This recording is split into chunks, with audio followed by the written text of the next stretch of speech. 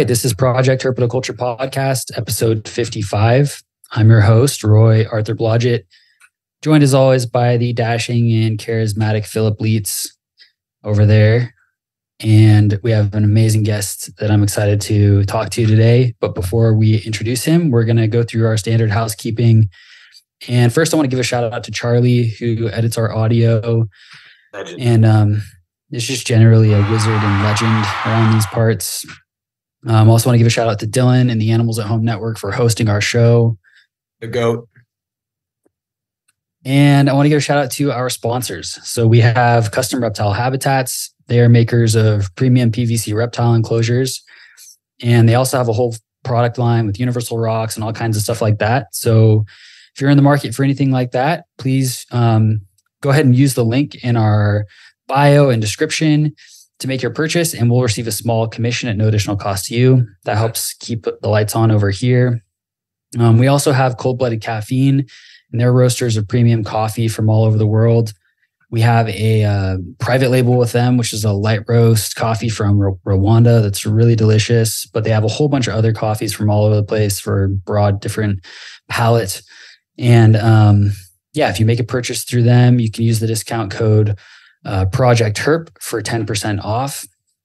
And lastly, I want to give a shout out to FairyTail Dragons. That's Heather Moy and Ron St. Pierre, two absolute legends in the field of herpetoculture. And we're really honored that they have elected to sponsor the show and support what we're doing here. So if you're in the market for bearded dragons or interesting um, giant anoles, anything like that, have a look at what they've got. They just posted a bunch of stuff up um, that they were planning to bring to Tinley. So check them out. And yeah, if you're interested in supporting the show directly, we have a Patreon at patreon.com slash project herpetoculture. And we always welcome subscribers there. Um, and any feedback really from our listeners is always welcome. So yeah, with all that out of the way, I'm going to pass it to Phil to introduce our guest and jump in with the first question. Yeah, yeah. So um, this our guest today is Dan from Amphibicast. Dan, thank you so much. Is that how I how do I pronounce your last name? Sorry. You mean like my show name or my like real oh, last name? Well, whichever you uh I guess I just, I just yeah, I just I just go by Dan Drobates because it's kind of a bad play on words and it's actually easier to pronounce my real last name. okay. So, yeah. It's I think it's a great play on words, by the way. I was genuinely um, just downstairs having a, a, brief meeting with uh with with my boss, and he was mm-hmm. asking me what I have going on for the rest of the day, and I'm like, oh, I'm meeting, I'm going to do a podcast with this guy who's his, his name is Dan Drobates, but it's like it's it's not his real name, but it's this play on Dan. I was explaining it to him, and he was just like, I don't know what the fuck you're talking about. um, but I so I know we're going to get into a lot about uh like yourself and your, your, sort of your history and your background. But mm-hmm. before we hit record, we were t- we were having a conversation, and, and you were mentioning about when you do things like podcasts and, and and videos, sort of like outwardly facing content, sort of be yourself. And I wanted to, I really thought that would just be a great jumping off point. Um, if you could elaborate a little bit on what you meant by that and kind of what you were getting at, I think this would be a cool place to start. Sure, thanks. And, uh, and, again, before we get into it, I just want to thank the both of you for take you know letting me come on. Uh, I want to thank you for the opportunity. I've listened to your guys' shows, and um, you guys have a nice chemistry. You, you, you put out a great podcast. So just thank you, you know, for me right off the bat. Thank you. What do I what, what do I mean by that? Well, when I started creating content, I was like I'm I'm really like critical of myself. I'm a you know kind of a, a perfectionist. Like I'm, I'm, really retentive about stuff. Things bother me really easily. And when I started doing this off, uh, you know, right off the bat, I wanted to make sure that what I did was quality enough that people were going to be interested in it. And after the first kind of couple of hiccups and whatnot, or the first couple of maybe months or years or whatever, I was able to kind of get a handle on it. And the more I got a handle on it, the more I realized it's, it's just be yourself. You know, don't try to create a fake persona for yourself. Be who you are, and the audience will follow you. And I feel like anyone who creates content, that's an integral part of it. If you want to inspire someone to love the things that you love, and you want to inspire someone to do the kind of work that you do, be yourself and be your best self. And I feel like that just translates really into anything you do, you know, professionally. I mean, obviously, we're all many things. You know, I mean, I, I keep frogs, but there's all sorts of other things I do. Bring all those things into your persona. And when you make content, you want people to not just appreciate the content, but you want them to appreciate the person who's giving that content. So that's kind of what I meant about just just be yourself. You know, put your heart into it. Be yourself, and you know, people people are into it. They'll go along with it, and I've been very fortunate in that regard. So, um, yeah, that's pretty much it. So yeah, that's a that, that's a really super interesting pr- perspective, and I feel like it it kind of echoes what I've heard. You know, I, I remember a long time ago. I, I, can't remember exactly where I heard this. It might have been a TED talk. It might have been, you know, at this point, sometimes the content all kind of blurs together unless it's like this, you know, really vivid, you know, memory of this thing. But um, I heard someone who was giving a presentation and using the sort of the little the shorthand of people don't buy what you do; they buy why you do it. And I, I you know, I feel like that sort of relates here somehow, you know, and and it's like uh, it, I think he was sort of talking about how he was like, well, let's talk about the difference between, say, like you know Macintosh and and other you know like and Windows and and, and any kind of PC stuff. It's like there's not necessarily anything inherently more good or valuable or special about Macintosh computers, and yet they've sort of like captured the the like the public identity in some way, right? And it's like his argument was it's because there's something more compelling about Mac and why they do what they do and how they present what they're doing to you and it's about you're almost like purchasing your own individuality in some ways that's what that's what they mm-hmm. kind of make you feel like even though you're buying the same phone that everyone and their monkey has right? So it's it's it's kind of a in that case it's maybe a bit of a contradiction but um i do think you're you're you're really onto something there in the sense that like uh people people really do seem to resonate with individuals and and like why you're doing the thing that you're doing. It's not necessarily about the thing itself. I mean you know uh even in even in something like obscure like mountain climbing it's like oh why you know like i'm not necessarily interested in the fact that somebody climbed mount everest even though it is profoundly interesting thank you Jon Krakauer but like it, it is super interesting but like why one would want to climb Mount Everest is is like a little bit more interesting to me than the actual act of climbing it, it itself. Or or for mm-hmm. another example would be um, like Alex Honnold and and free in the movie Free Solo, right? Which he's he's been a rock like a famous rock climber for forever. But he you know he did this most recent thing, and and Jimmy Chin, the the documentarian filmmaker, kind of documented his his progress in, in climbing, uh, you know, free soloing this massive climb in Yosemite. And it's like, it like sure at the end of the day the sort of like the climax of the whole thing is him climbing this thing with no rope and it's just like what?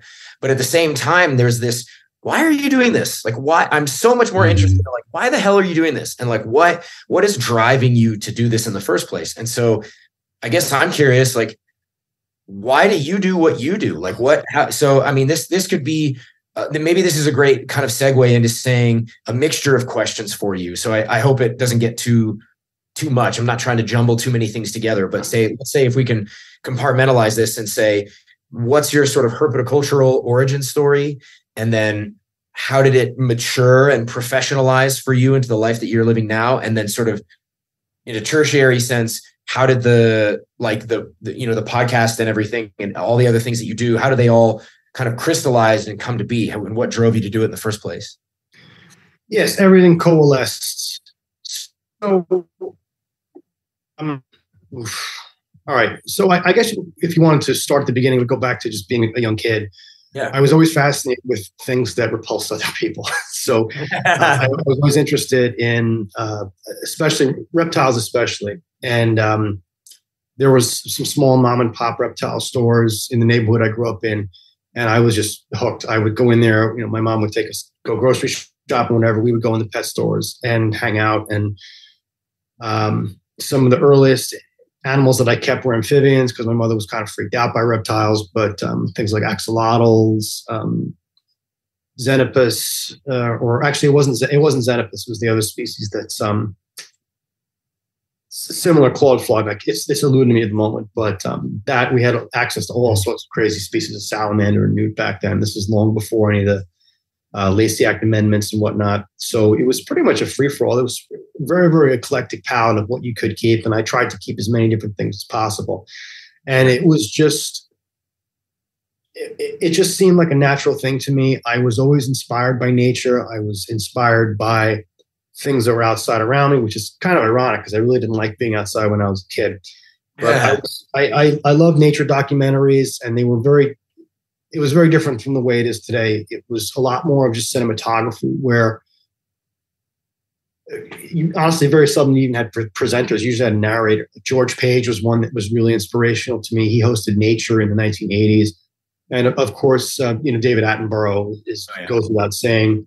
At one point, John Forsythe hosted a nature show. That's that's really a long time ago. But I, I liked to watch natural drama unfold. I like to watch living things do what they did, mm, good, bad, the ugly. And to me, it was kind of a way of, I guess you could say, kind of like you know, stepping outside of myself. There's things I was comfortable with. You know, as, as a kid, you have things that you struggle with. You have anxieties, you have fears, you have challenges and whatnot. And this just kind of was always just a home base for me.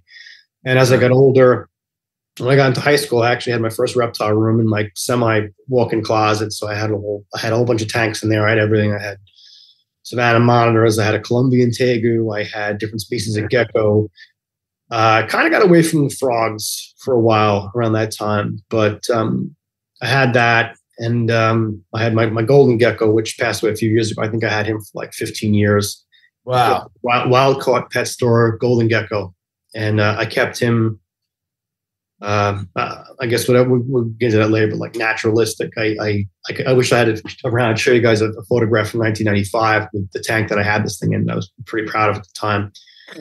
But um, yeah, so that went on, and as time went by, going on to, into the 2000s, I met my wife around the year 2002, and I just started started going to expos, and you know, moved, new location. My wife and I began to live together, and my collection kind of came along with me. At the time, I brought. Uh, I, I honestly had like I had like nothing. I had my car, and I had two white tree frogs and a golden gecko, and um, you know, we started our life together, and the animals kind of just came along with it. And different times it peaked. You know, I had kids and whatnot, and at the time, the collection kind of dwindled a little bit. And um, right around 2016 I decided that it was um, time to make some changes in my life. There was a lot of things that I wasn't happy with, and I wanted to live a healthier life and just um, correct those things that I wasn't happy with. And the animals were always a home base. It was always a safe place, and that's what I gravitated towards too. So around 2016, I, I got into it with a much more focused attitude. I started with the, the poison frogs and I kind of set that as a goal for myself, saying, you know what, I kind of want to dedicate my efforts towards one thing. And the poison frogs just just were a perfect match. Mm. And um, I mean, I could probably go on for hours, but that's kind of the gist of of how I ended up from a kid to where I am now, and you know, surrounded by animals, and it just seems right. Yeah, yeah, that's great. Uh, did you was your was your wife like kind of was she psyched or indifferent or uh, you know uninterested in the in the reptiles it, it was an interesting thing. Um, we went to some of went to some of the first expos together and we have my wife is very into photography so she was always eager to photograph the animals and even today she enters she's won a few quite a few competitions actually. She was published in photographers forum for a photograph of a believe it or not a wet mount of a, of a cane toad. I had a cane toad in 1997 that died, and I wet mounted, I like you know wet preserved it in alcohol in a jar. And she took a photograph of the toad in the jar, and she she won um, a spot in photographers forum with that photo. So for her, the she you know she's not into like the day to day stuff. You know, not everybody is, but the photographic aspect of it interests her, taking pictures of the frogs and whatnot. And it's, you know, animals don't always cooperate, but I'm actually using some of her photo equipment to record this. So it's it's mm. interesting dynamic. You know, a, a, lot of credit to her for being patient and really encouraging and being supportive of this. It's something that's not necessarily within everyone's comfort zone, and it's become just such a part of our lives that we really couldn't imagine life any other way. We've had dogs, we've had mm. guinea pigs, we've had everything. My my my young my uh, my oldest daughter, she's uh, she she keeps mammals, and um, it's just it's just a part of our lives. It's kind of just become this thing that is just you know normal to have you know 30 40 frogs in the basement and yeah So, do you do you get the do you get the same? So, back when I had everything in in in, in a, like my home, um, I would get people who would come over and just would like want to come over to take like a tour. They would just be like, mm-hmm. I'm just, you know, like friends, just like family friends. Who, come on, let me go. Let me go check out. Come on, can we go see the lizards? And I'm always like, yeah, yeah, we can go see the lizards. Ah, come on, let's go do it. You know, and and then now it's like now that it's in a separate space, now I'm I find myself like a lot more protective of it and a lot more. Yeah, like, yeah. Oh, I'm not gonna let people come over. And mm-hmm. sorry, it's like I let friends, you know, like um coworkers and and I'll let especially it, almost always it's when coworkers have kids. I'm like, yeah, yeah, let's have, bring your family mm-hmm. over. Come on, you can bring them. Like I'll give them a tour, you know, because I'm always happy to help, uh, you know, sort of edu- educate the youth, as it were. Yeah. Uh, you know, it's kind of the thing. I uh, and it's not even though it's like a small thing. It, it's it feels nice to do that, and um mm-hmm. and it, it I know what you mean. There's like this weird. It's like a um I can't I, I can't imagine not doing it now. It's like it it, it feels so tightly intertwined with with my experience of the world and the way I like to live and the kind of the way I like to spend my time that I I really struggle to envision a, a, way of life, excuse me, without it, you know? Mm-hmm. Yeah. Yeah. And, and so uh, another thing would be, so when did, when did I guess was there was there a moment when it professionalized more in a way for you and then like what drove you to start the the podcast as well well i mean again if we go around to 2015 2016 is kind of the, the crucial turning point here i uh, i mean again i made a lot of lifestyle changes and you know unfortunately you, you reach times in your life where you you look at what's going on what you're doing to yourself and you realize that something has to change and obviously investing a lot of time in the animals was for me a good thing. It was a good therapeutic thing. It, it helped me through a, a, very difficult time, and it continues to help me. Mm-hmm. And the podcasting kind of came around the same time. I had a very very hard time sleeping at night, and I started listening to podcasts. And honestly, it had little to nothing to do with with animals. I was actually into a lot of paranormal stuff and like cryptid stuff. And I would listen to that on YouTube, and then I found out that um, there were podcast players like Apple Podcasts, Spotify, which were really the only two at the time. Now there's more. And I started just really, really having this, I developed this appetite for podcasts. And the more I listened, the more I thought to myself, I, I got to do this one day, I do this. And then we'll fast forward to around 2020. Uh, I had I had changed careers around 2019, which allowed me to have more time. And then come 2020, uh, a lot of it was a hard time for everybody. And 2020 was a very, very stressful, difficult, and you know, frightening time for a lot of people for a lot of reasons.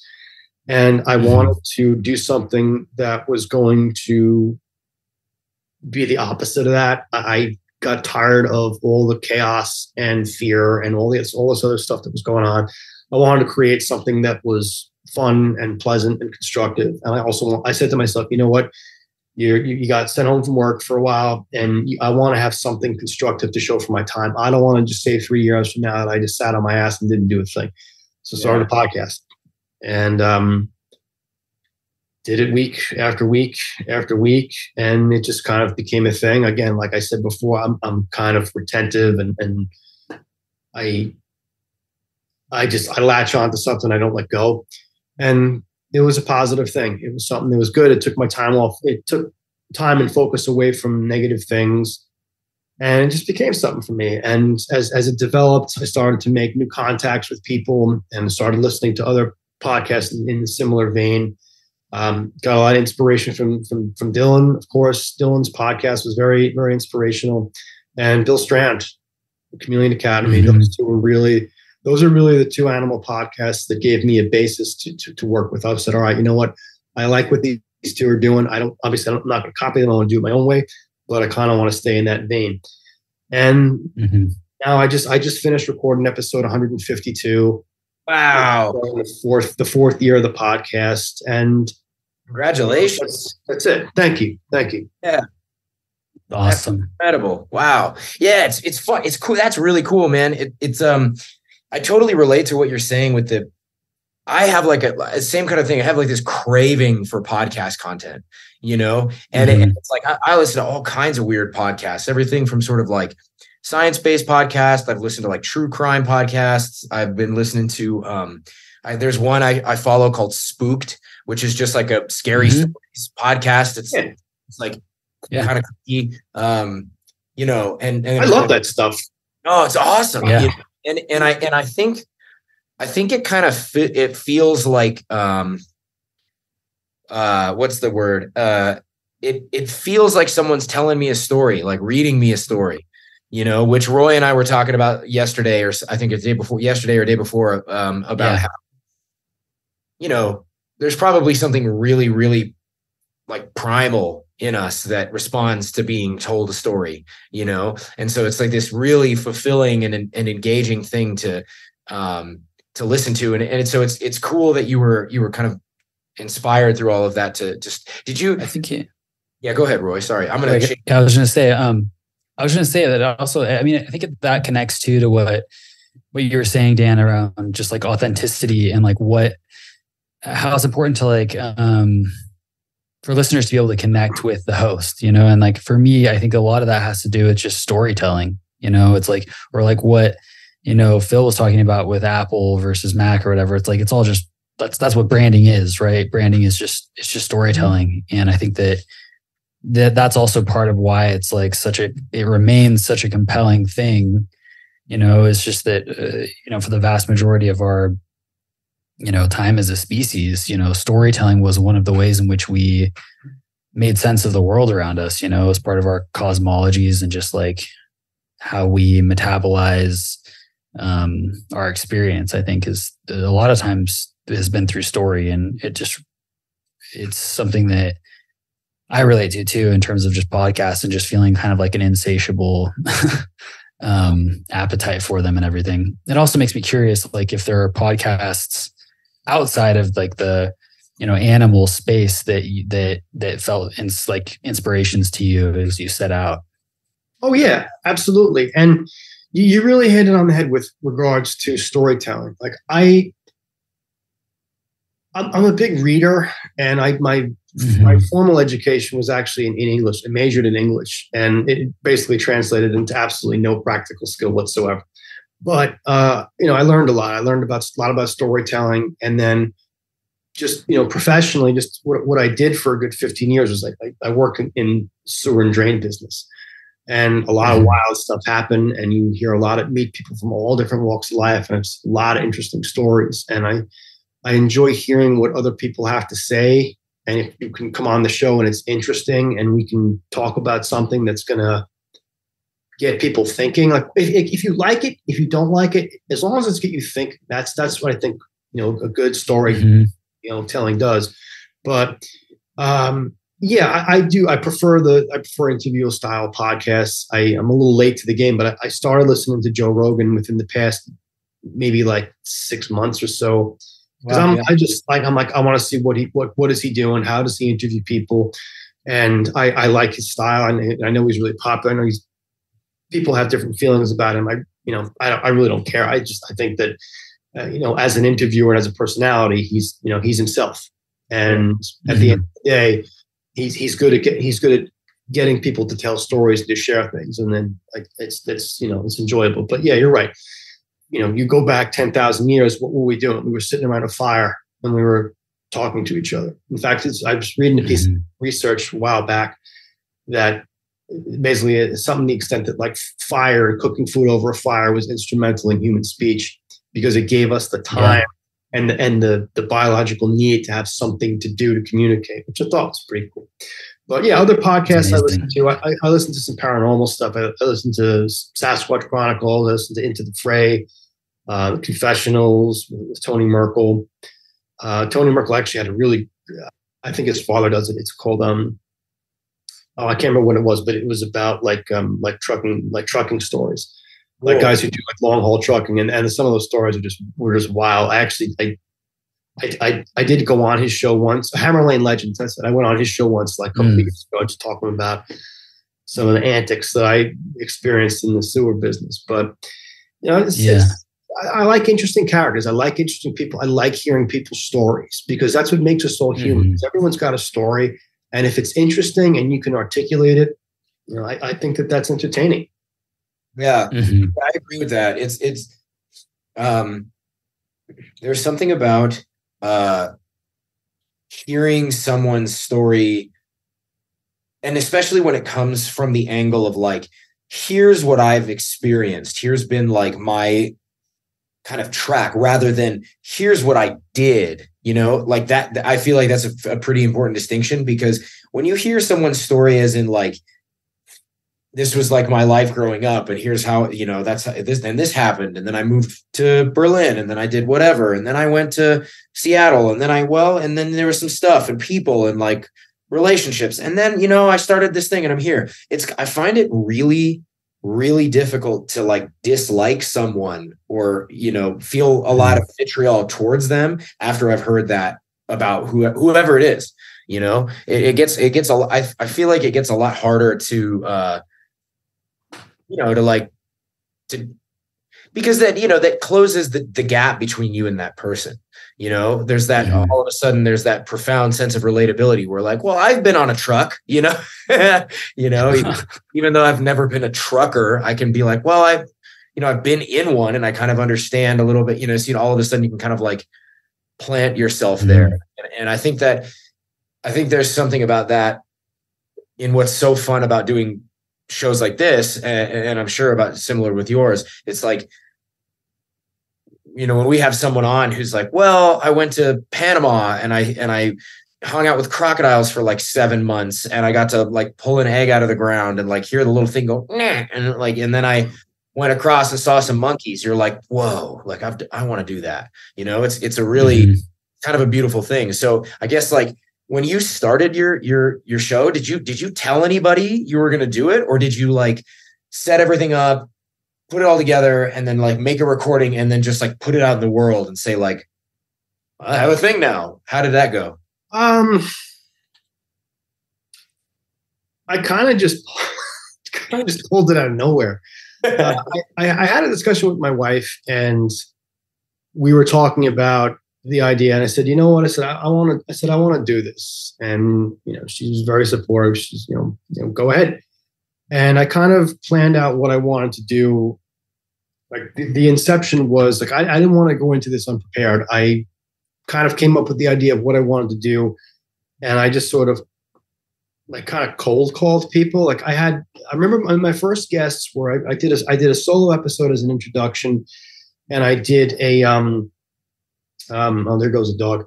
Uh, I did an interview with, with a colleague about axolotls. She was very gracious to come on and do that. And Travis Stutchman from uh, TCS Dart Frogs, I just emailed him out of nowhere and he came on the show.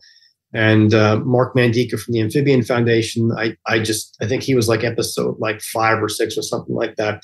And he came on and this, I just remember them being the first people that just sort of, you know, no questions asked came on and I did the interviews. And as time went on, I got more people who were interested in, more people who heard of the podcast. Because like at first, trying to get scientists on researchers was like it was not, not it was not happening. And as time went by, and I had more people on and more people on, it generally just became like no one said no anymore after like about a year, year and a half. So I I started, like I said, I started recording. I released, I released like I think like three episodes in the summer of 2020, and um, I it just kind of went from there, and it just kind of became a routine thing. I so I dedicated Tuesday evenings to it, and then um, now I usually do Wednesday or Thursday nights, and um, I've just kind of kept at it. And I really don't know how it worked. I kind of used Instagram as the main platform to launch it. I started following people. I got some people that followed me in return. I mean, right now I've got like like 1,800 followers on Instagram, which really isn't much in the grand scheme of things, but you know what? It, it's it helps it's, it's, it helps network. It helps promote the show with this type of like long form content. You know, you're not getting clicks and likes the way you are with like reels or I mean, I don't TikTok. I don't even go near TikTok, but you're not yes. getting that type of, of like I guess you call it like soft engagement, like people who like like things and they leave a comment, mm-hmm. but then mm-hmm. they kind of forget about it and they move on. Whereas with like mm-hmm. this is kind of like long form content you're not going to get the the massive audience that you're going to get with a YouTube short or something like that. But you're going to get better retention, and you're going to have more of an intimate relationship with a smaller audience, which is I'm I'm cool with that. And the audience grew, and the episodes, the downloads got you know went from just being like ten or fifteen to getting you know, much much higher. And um, I just kind of kept at it, and now I'm kind of kind of I guess where I, where I where I wanted to be, and it's cool. Mm-hmm. It's helped me. It's helped me network with other content creators, other podcasts. It's given me the opportunity to make friends with people that I looked up to before I started this, and um, you know, I, I, I had a plan, but I didn't have the plan, and I kind of reevaluated everything as I went along, and I realized, all right, I'm doing something right here because people are responding to it, and um, you know, I, I, I wish I had a better, more interesting story, but I kind of just I kind of just did it as I went along. No, I mean I think, but that's the that's the point. Is I, I think that's a profoundly interesting story. You know, I, I'm not. Uh, there are people out there who have started, and maybe I don't really know any of them that are like reptile or amphibian people. This is mainly I'm thinking more about celebrities right? Yeah. Who have decided like, no, I'm going to make a podcast, and then they like oh. they plan it all out. They record and put in the can like their first ten episodes. Yeah.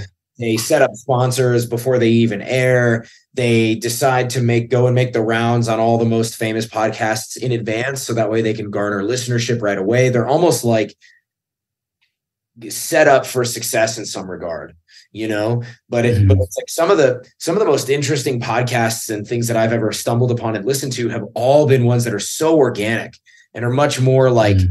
uh, like you find them or someone tells you about them or you hear an excerpt of one of them or something and you're like what this is a crazy show or this is so interesting and it ropes you in and and like what you're saying maybe you don't get the huge numbers you know sort of like the more superficial like based i'm playing into the algorithm which like i think the i, I make you know i don't want to assume anything about you dan but i think mm-hmm. the three of us we seem to be the kind of people and from what you just told me we're the kind of people who might be like diametrically opposed to that kind of engagement yeah and i am i know i am for sure like it, it even mm-hmm. irks me it even irks me when like a page that just has like 500,000 followers on Instagram shares one of my pictures and tags me in it. I'm like, nope, this is not what I want. This is not what yeah, I'm. Yeah, I don't. I don't like that either. No, I don't like it at all. It's like because that's not what I'm here for. That's not what I'm interested in. You know. And you're right. There's something about the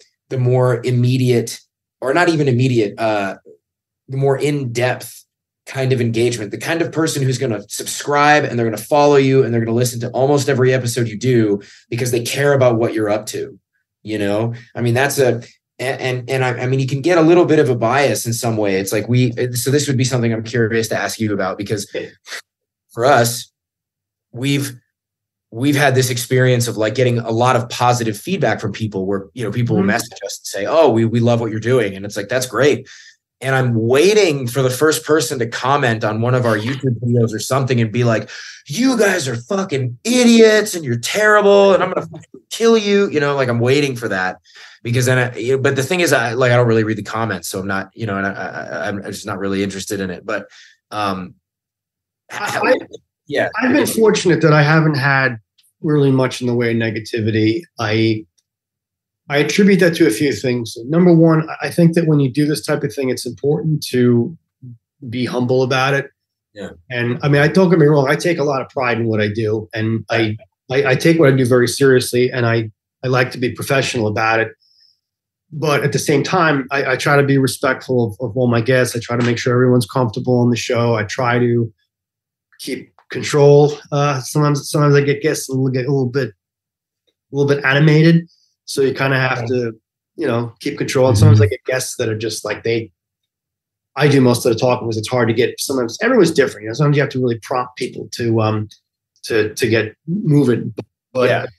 um, I think just you know just just being yourself, being a humble person, some people aren't going to like it. You know, I, I had some, I had some criticism very early when I went, like early when I went on, and like this, this person kind of, you know, went out of his way to just be,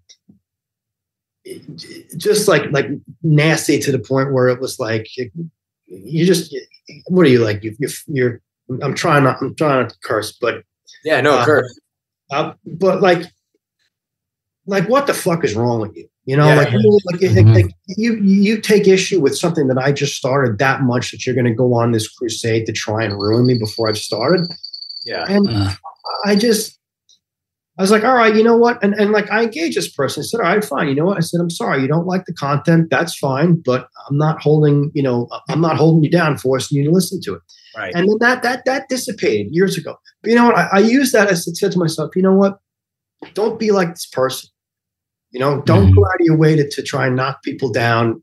You know, just, just be professional try not to be overly critical. I'm like, there's stuff I'm critical of. There's stuff that I don't like, and there's stuff that I've I've, I've voiced to people that I just don't like. But at the same time, if you're creating a show and it's not bothering me, how does that affect? It doesn't. It's not interfering with me. yeah. So that was Mhm. that was an issue off the bat. And I've seen some other like I mean, I I'm really private. Like I just the show's doesn't have a, a YouTube presence much. The only time I'm on YouTube is when I do collabs. But I, I've seen some like weird comments and stuff like that. But I just try not to engage it because I feel like once you engage someone like that, you're giving that person the fuel, and then you're drawing more attention to that comments. Like sometimes, like when you see something Mhm. that's really bad, just walk away. You know, Yeah. the best thing you can do is like, you know, I mean, like you know, Phil, you're into jujitsu, right? You, you know, Oh, yeah. if you're you know you're in the ring it's professional it's, it's one thing but like when you're out on the street sometimes the best thing you do is just walk away the, the best fight to, to win is the one that you Mhm. don't get involved with at all Yeah. so I, Yeah. I try to i try not to engage people who have a lot of negative stuff because they're just going to sink themselves anyway you know let, let this Yeah. person Mhm. look like a fool let, let him make himself look like a fool without me having to add anything to it and that's how i that's how i deal with Yeah, yeah, yeah, for sure. I mean, there's so much there. It it um the it's it's actually really funny. It's uh, man, I, I feel like this is so poignant right now. Uh, right now, you know, there there was um, a long time ago. Uh, I was involved with collared lizards, and there was a situation in which uh, there was a, a person who was like a contemporary of mine who, um, you know, I, I not trying to smear anybody, so I'm not really going to get into the details. But basically, this person had photoshopped a, a photograph, like a wild photograph of an animal, and photographed it or uh, photoshopped it into a terrarium, and said, "Oh, I like I was the first in the pers- first person in the world to breed this thing." And I and I and I remember. Well, that it's, it's I think this is really interesting. This is like a fast. Uh, this I think this will tie back when you when I get to like the big reveal here, which is I I posted up the original photograph and then the one he photoshopped and i said hey here's this guy who you know like i'm not you know be careful of who you deal with right and i credited the original photographer and i'm like just so you know this guy's like stealing your work and doing what you do you know and all this stuff Mhm. and in my mind i was like okay people are going to be thankful and, and appalled that this Mm. guy did this right and like 75% of the responses were that but then like 25 ish percent were like, you know, I can't believe like jealousy would get in the way of people like working together on animals. And I'm like, nope, nope, you that you've missed this entirely, you know? And and Mhm. so there have been more than one situation in which when I talk when I've talked with other friends about a certain situation or a- a- an interaction with someone, they'll be like, "Well, why don't you like call them out?" And I'm like, "You call out the behavior, not the person." Like I can't, you know. Mhm. You mentioned this thing with negative negative feedback, negative comments, and it can get it can really wear at you. But it's like it's so not worth even engaging with. Like even the engagement is a loss for you, you know, and um it's it's it's it's it's troublesome because we want to do something about it. If someone was standing right next to us, you know, in a bar and was like, "This fucking loser, like what a fucking idiot," and pointing at you, you you'd you there would be so many things in you, both cognitive and physiological, that would be like, you know, like you just get so fired up, and you're like, "I'm gonna I'm gonna do something," but like the reality is that the in, the engagement in the first place is much more dangerous than Mhm. whatever blow to perceived blow to your ego it would be just to say not doing it, man. I'm just going to go over here on this side of the bar, or I'm going to leave and go to Yeah. another. Forget it. This is not worth it at all. At all, right? Yeah. no, I mean, Right. I, I can, dude. Like, I, I, I've I've been in situations where that, that were uh, pretty damn dangerous. You know, I, I don't want to get into my whole, you know, resume of the situations that I've been in, but like, you know, you got to realize, like, at the end of the day, like, like, what does it matter? You know, if, if you don't like Yeah. the content, like, why? People have just gotten so used to anonymity with with things like YouTube and Mhm. whatnot, and but that's the, the beauty of podcasting is how you can engage somebody like you and I. That I mean, we're we're interacting. There's three of us here. We're talking, just you know, Mhm. man to man, whatever. Yeah. But I, I that negativity, I, I just I, I don't see any point in in in throwing gasoline on something like that. You're just giving these people what they want, and I feel like a lot of people like it, it, it, takes work to create something. It takes very little to destroy Mhm. something. You can spend years Yeah. building a castle, and it only takes like you know one person to come over and just knock the whole thing over. And I, I don't have respect for Mhm. people like that. You know, sometimes people voice opinions, and you know what? I, I disagree, and I take the time to think about it. And um, Mhm. sorry, the dog's going bananas upstairs. Okay. But um, I'll take some time to think about it. Sometimes, you know, I might actually agree with the person. I might say, hey, you know, listen, I think of what I, I don't fully agree with you, but now I now I you know I listen to your side of the story and I get it. Uh, and it's honestly, you'd be surprised sometimes. Like that's the best way to like take the take the wind out of somebody is to say, oh wow, you know what? I listened to you. I'll, I'll, I'll give some thought to your perspective. Yeah. And then they're not getting the Yeah, totally. and the engagement that they wanted, and then they realize that they got nothing. They got nothing to stand on. Yeah. Yeah, absolutely. And just so you know, by the way, the the dog is barely coming through on the mic, so don't don't sweat it at all. Um, Good. but on i mean like on this kind of thread of just like maintaining professionalism i mean that's one thing that i've that has always stood out to me about your podcast is just um the kind the the the, the, the consistency and the quality of what you're producing um just feels at like a very high level and it's like very clear to me that you um that you're taking it seriously like you said that you take pride in what you're doing and I'm curious if you could speak a little bit to just what your what does your preparation look like, you know, as you're leading into an episode. Um, you know, how do you kind of go about that? Sure. I I like to go in prepared and I like guests to be prepared. I don't like to just kind of fly off there. I mean, certain situations I'll do like the three of us, like I'll just I'll just, you know, vibe off of you guys. And certain guests I'll have come on and be like, look, I really don't have a script. We're just gonna kind of roll with it. But probably about 90% mm-hmm. of the episodes I, I do. I go in and prepare. And there's really two ways two ways about it. Like number one, it'll be well, three ways I should say. Number one is the easiest, which is just like someone I've had on before.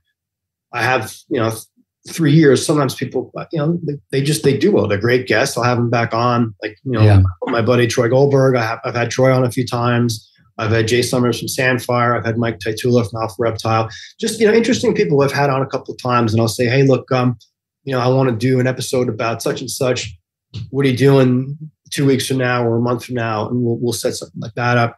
The second type is a referral where I might have a guest say, hey, uh, why don't you reach out to this person and I'll, I'll do that. Hey, you know, so and so said um, maybe you might be interested in doing the show, and uh, I might message someone on Instagram or something like that, or maybe send someone an email.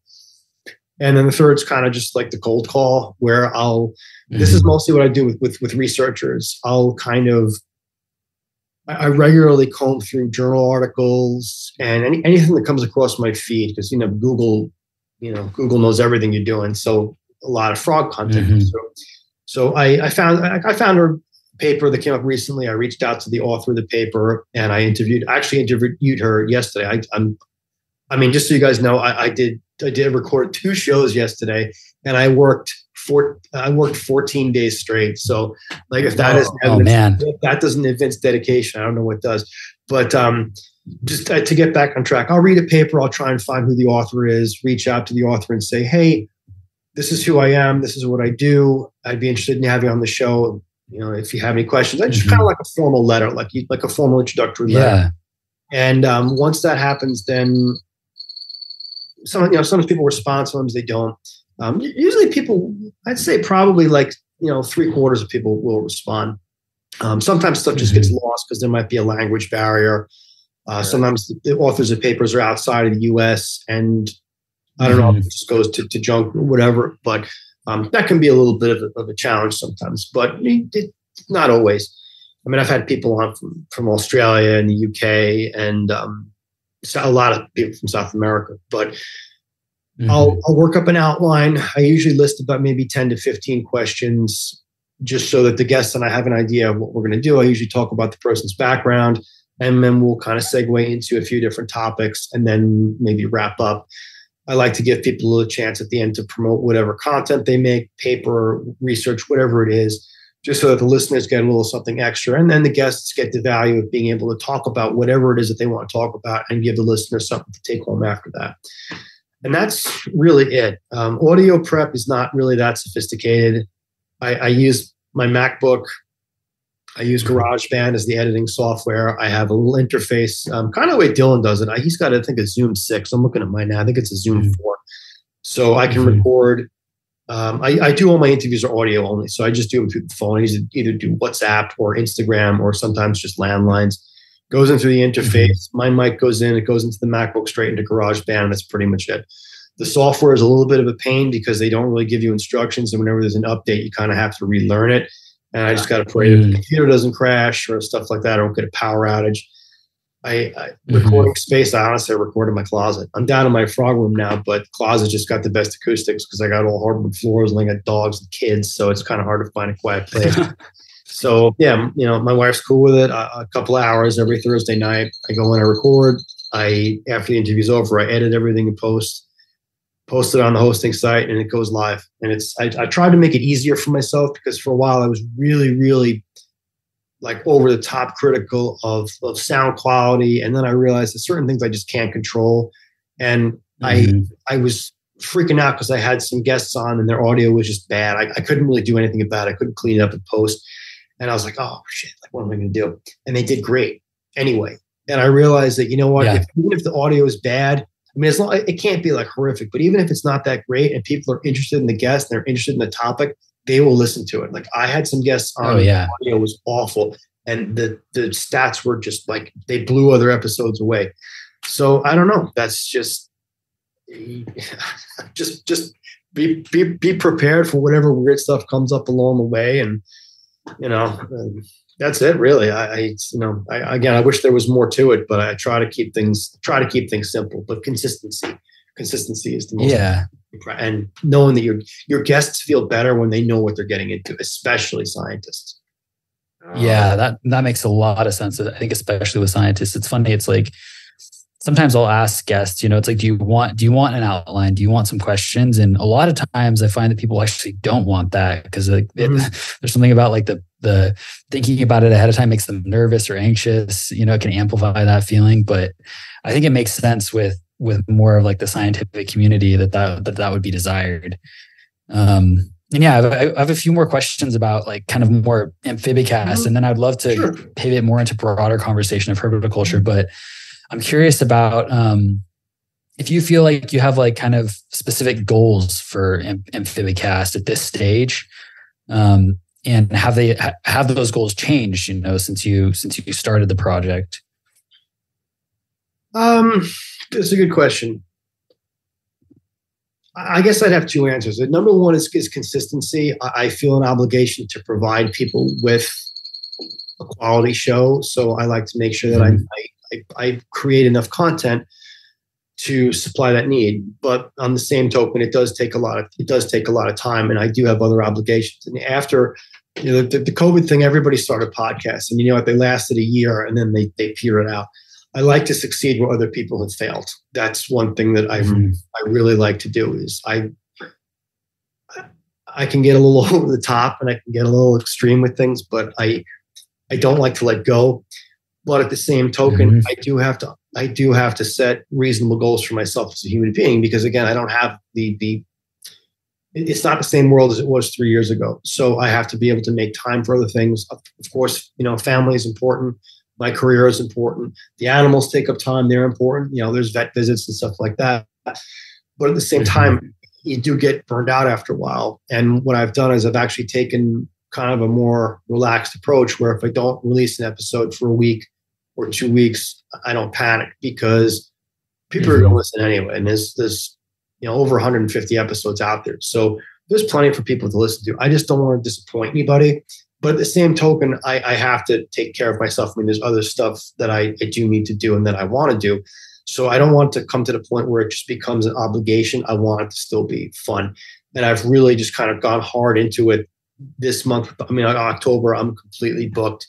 And I started booking into November.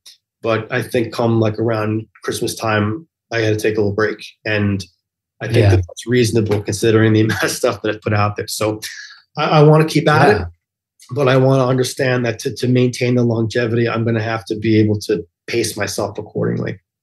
So what do you what yeah. about you guys? How do you how do you guys feel about putting out content? Like how do you pace yourselves?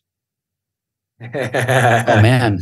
I mean, well, I, I definitely I definitely feel like you know, a, like a like a personal kind of commitment to trying to get something out weekly, you know, and that's that's just not always possible. You know, Phil and I are both super busy people, you know, we both have pretty pretty hectic lives. Um, and oftentimes they're hectic in different ways and at different times. And um, you know, my schedule is very irregular and all that stuff. So it can be challenging. And like, you know, this just this last, you know, two weeks we we haven't dropped an episode but we actually have the episodes but they just haven't been edited because our my editors mm. um, on vacation part of the time he was actually here visiting and i was kind of like oh man like you know but it's it's fine you know i know that like like you say um you know the people are going to listen you know and and i know that we have like very um understanding and like loyal you know following you know for project herpetoculture and so there's that but i definitely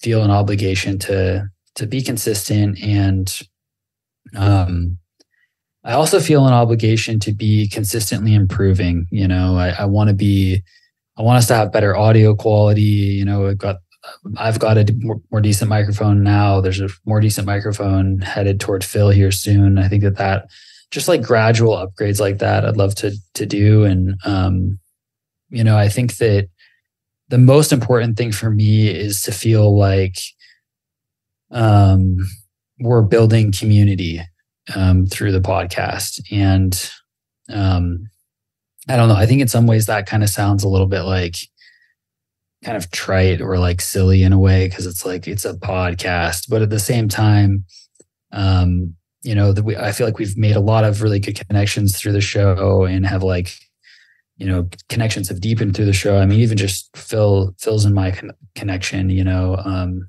has really grown through through hosting the show together. And i'd love to get to a stage where we can do things more face to face we can show up at a few expos every year and actually talk to people and um, yeah just continue to kind of uh, contribute to this community and this this discipline this trade that we feel so passionate about and indebted to.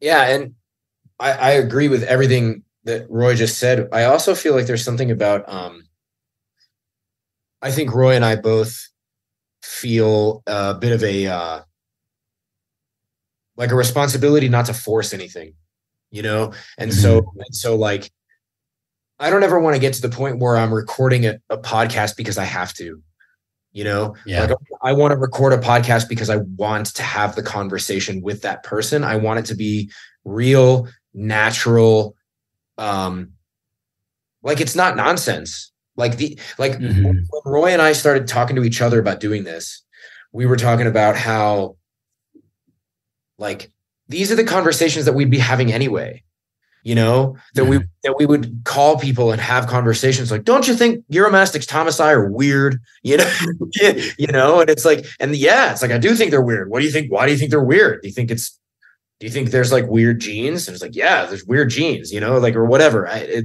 i know that's nonsense um no it's it's not. I have the, we have the same conversations in frog people too. We'll talk yeah. about how certain mm-hmm. locale is just just weird or how a certain frog is yeah. just really like derpy yeah, yeah, no, totally. Yes. And Thomas, that's exactly what thomasi are, by, uh, by the way, is derp. They're so stupid in some ways, but like it's, you know, like I had an entire conversation with a friend of mine about hybridization and like why it's not a big deal and people bug out about something that's not not number one not a big deal and not something that you can control after you die like good luck mm. you know and I mean, again i understand there's a whole different conversation to have about hybridization and i'm not doing it so i'm not i'm not necessarily trying to talk about that. It's just an example. And it's like these these are the conversations that we're going to have anyway.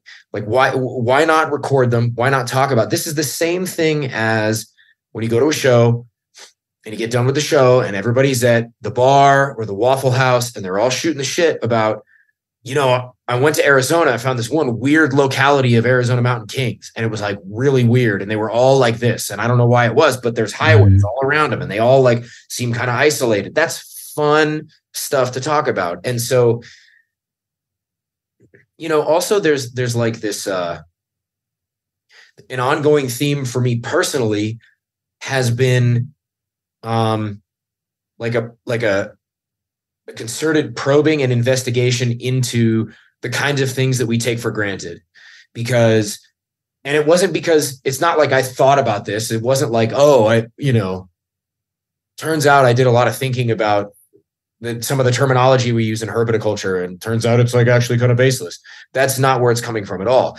It's coming from the experience of my own life and realizing every year that passes by a greater set of things that i've taken for granted a greater set of things that like i never investigated this concept i never put in the time you know i mean you know you mentioned rogan's podcast earlier like you i can list a set of 10 shows that I listen to. And the whole reason I listen to them is because, you know what? Like 15 years ago, I might have just written off this person as nuts.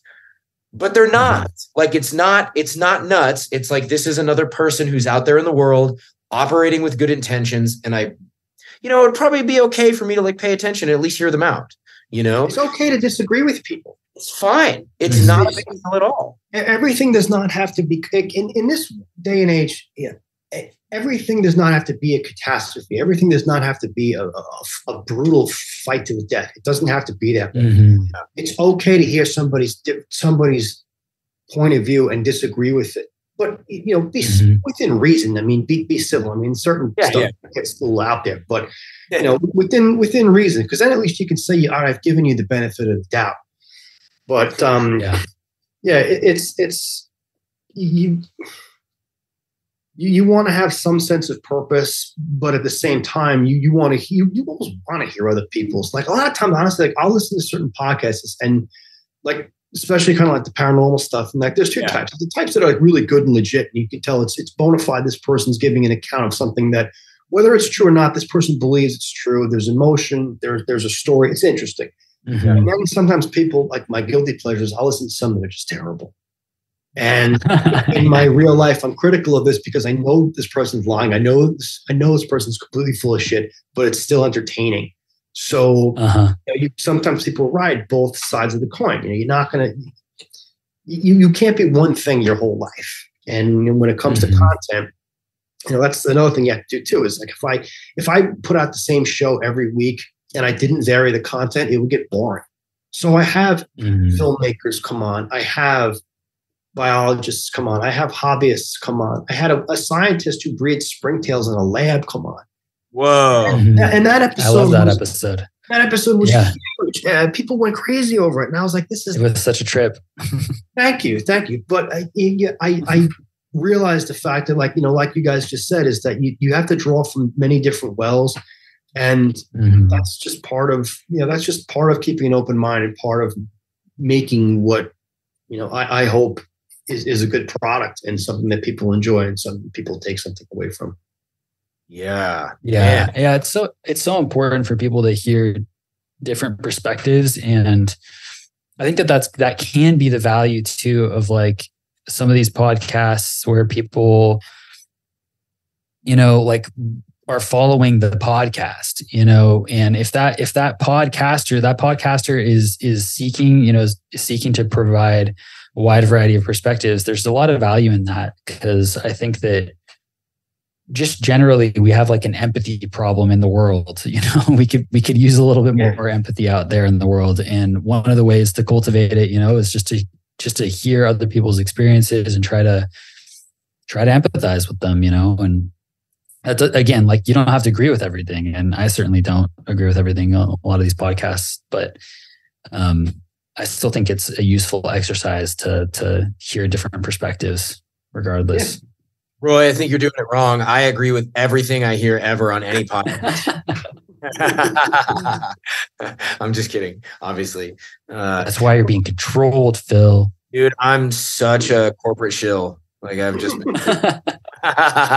you know, another thing that just came to my that I I, I didn't mention before is like the mm. um when it comes to prep, doing mm. like vocal vocal prep. Oh.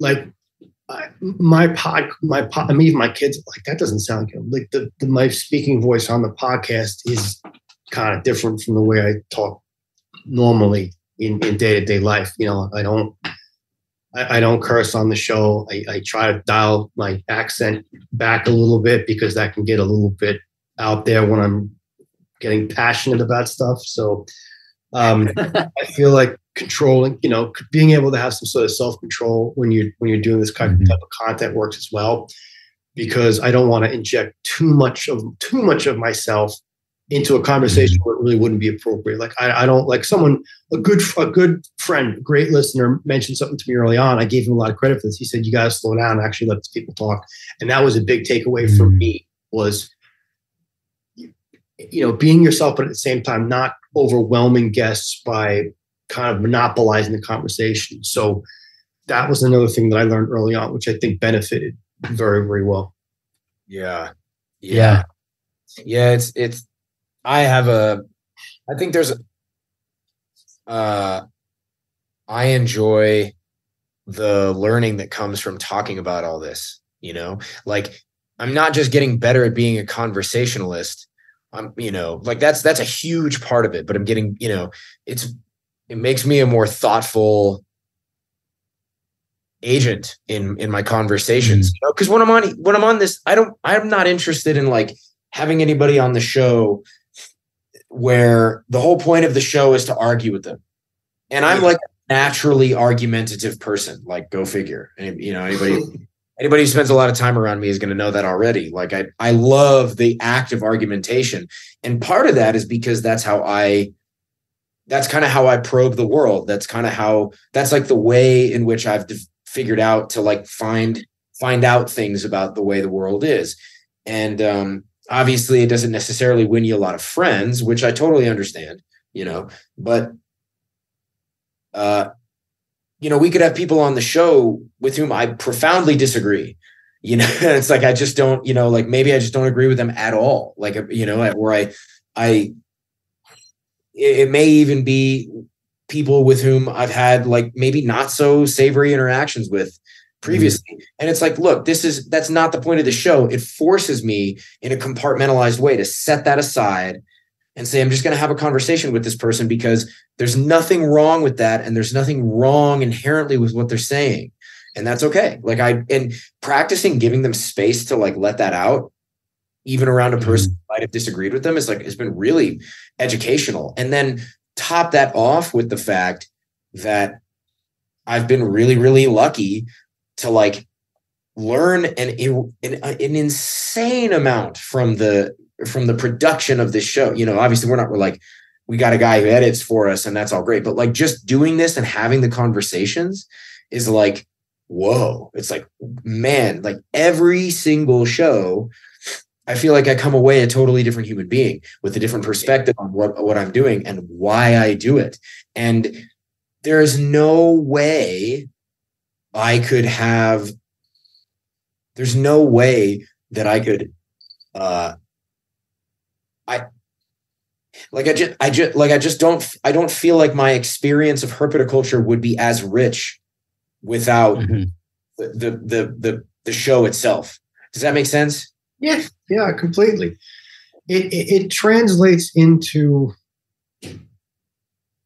being a better person you know, if you, if you can, because it, it, takes a lot, it takes a lot of effort to be a professional, and some people can, some people can figure it out, and some people can't. Like you know, like like losing your, your shit in public is you can't do that. And sometimes I mean, we all do it. It happens mm-hmm. sometimes, but you know, when you're when you're making an effort to actively engage someone who you know you're going to disagree with and still be civil about it, you can translate that back into real life. And the next time, you know, you're you're out in your everyday life and you have an interaction with someone that, that's not positive, you can take a lot of that behavior from the show and then kind of translate it into other situations because it's all you know every, every community has its its troublemakers and every community every community has you know bullshit. Like i'm a huge angler you know northeast united states you know new york jersey connecticut massachusetts you know saltwater angling is huge. And just as much crazy drama and crap goes on with with mm-hmm. you know fishing community. And you know the same i mean same thing like with you know reptile community it's the it's fish and wildlife and with us, it's you know it's, it's DEC, and not that there's animosity, but it's just people like, oh, you know, you hear about the new DEC rule, and then we got now we got to use circle hooks, and we got to do this and that, and people get up in arms about stuff. But you know, again, you can't. It's you can't. You have to be civil. You have to maintain some sort of, of yeah. integrity. I feel like the discipline that goes into doing this it helps you do that in everyday life. Yeah, yeah, yeah well said. Tangent. I had to throw that in.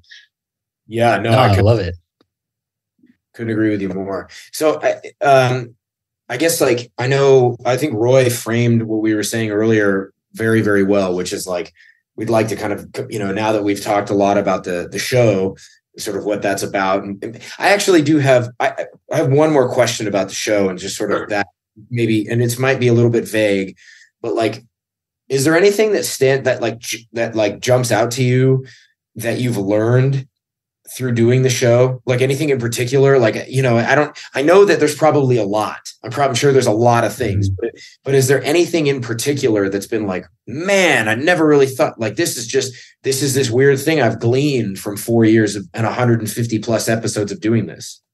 Yeah. Um, one thing comes to mind almost immediately, and that is the Oophaga genus.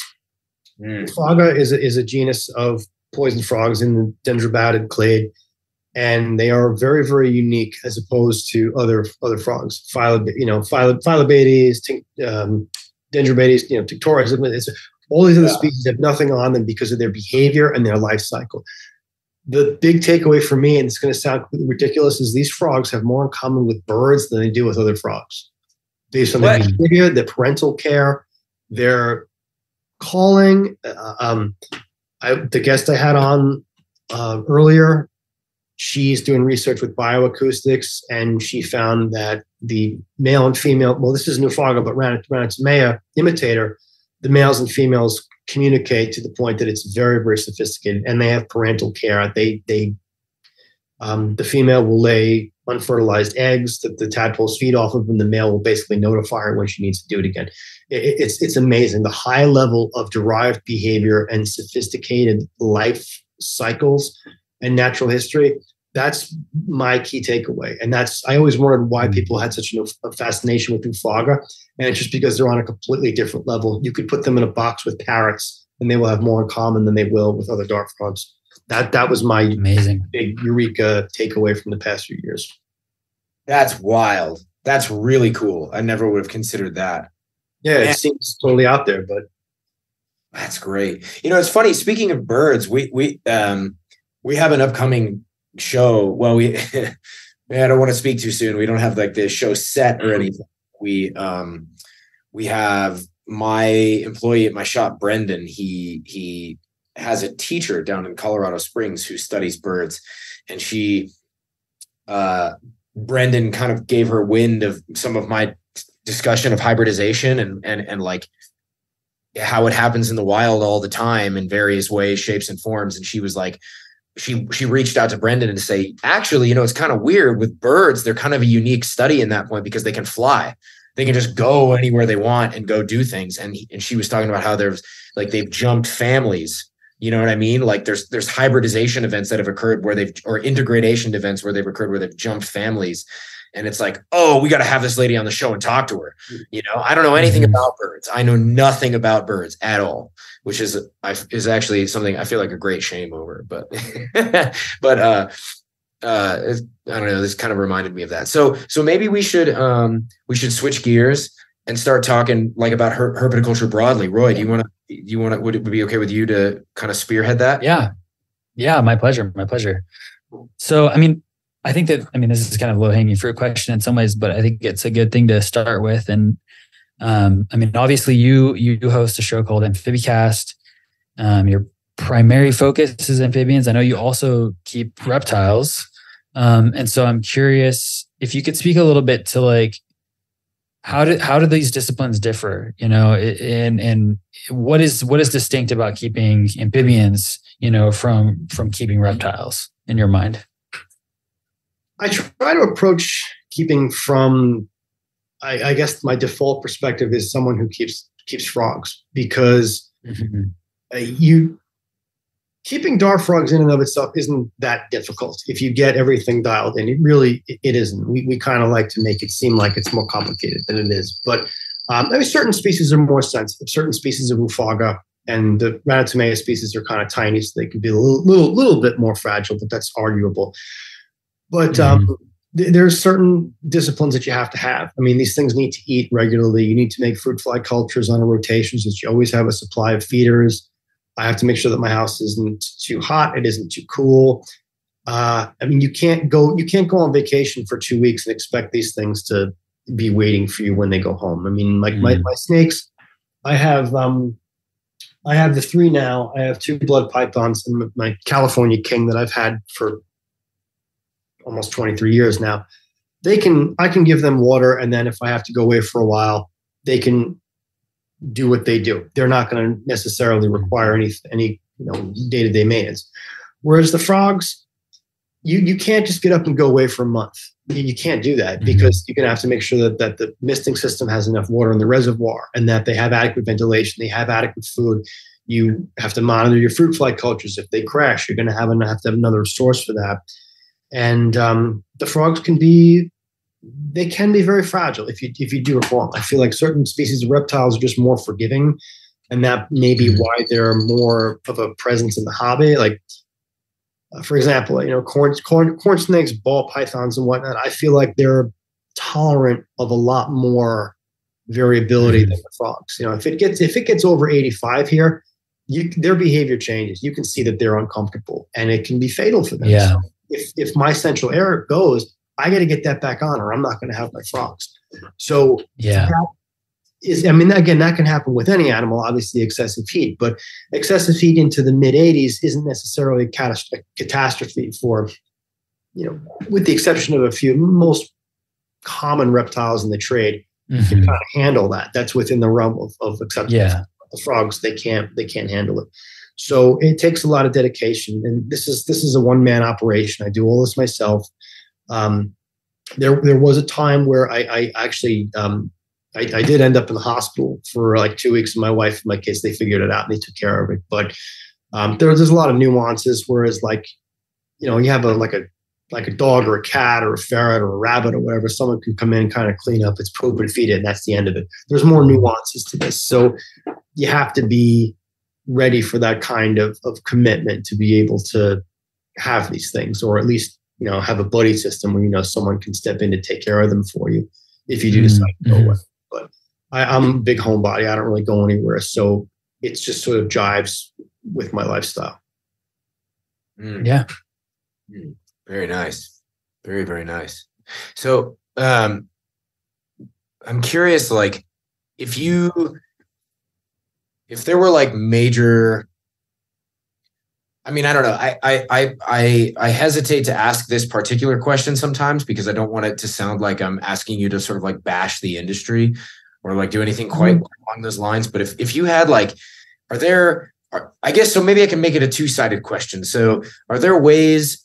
Are there are there critiques that you might present about herpetoculture broadly, and then um, maybe we can balance that out and say if there are things you would like to see that you'd like to say maybe i'd like to see this change or a little more innovation around this particular side of things. And you could even subdivide that and say well amphi- amphibian keepers really have this down but reptile keepers kind of suck you know? And then like maybe and then maybe I, I, no I, I get it i get it i get it. I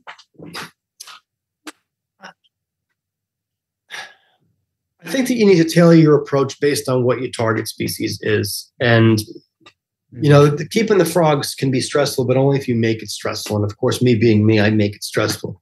So then I got into tarantulas. tarantulas, I actually got into them because they basically do nothing all day. And it was kind of a zen moment for me to just sit and stare at them, just, you know, sticking out their little hides. But, um, you know, I, I see criticism from one it's funny because like the, the exotics hobby tends to encompass reptiles, amphibians, and invertebrates.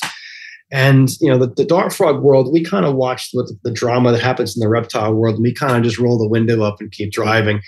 But um, I I don't what I'm most critical of is people will understand the what, but they don't understand the why and where it came from. And with the changes that have happened in people's ideas of what's right and wrong, I'm concerned that people don't understand the theory behind why certain things are the way they are. And I'll, I'll elaborate on that with this. The reason you set up dart frog tanks the way you do is for two reasons. The first is practicality, which might surprise people. Practicality.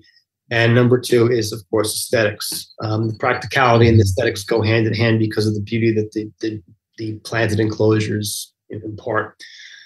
I see a lot of people appropriate the dart frog method of keeping with other species, and they somehow automatically assume that because it's in the dart frog tank, that it's the best method of keeping another animal. Yeah, and, and I, I, have a I have a problem with that because I feel like a lot of people think that just because I, I mean I, I you guys can kind of see some of my well the lights went off, but um, you know my tanks are planted. There I take a lot of pride in them. I know people who have a much better command of, of the artistic aspects to it.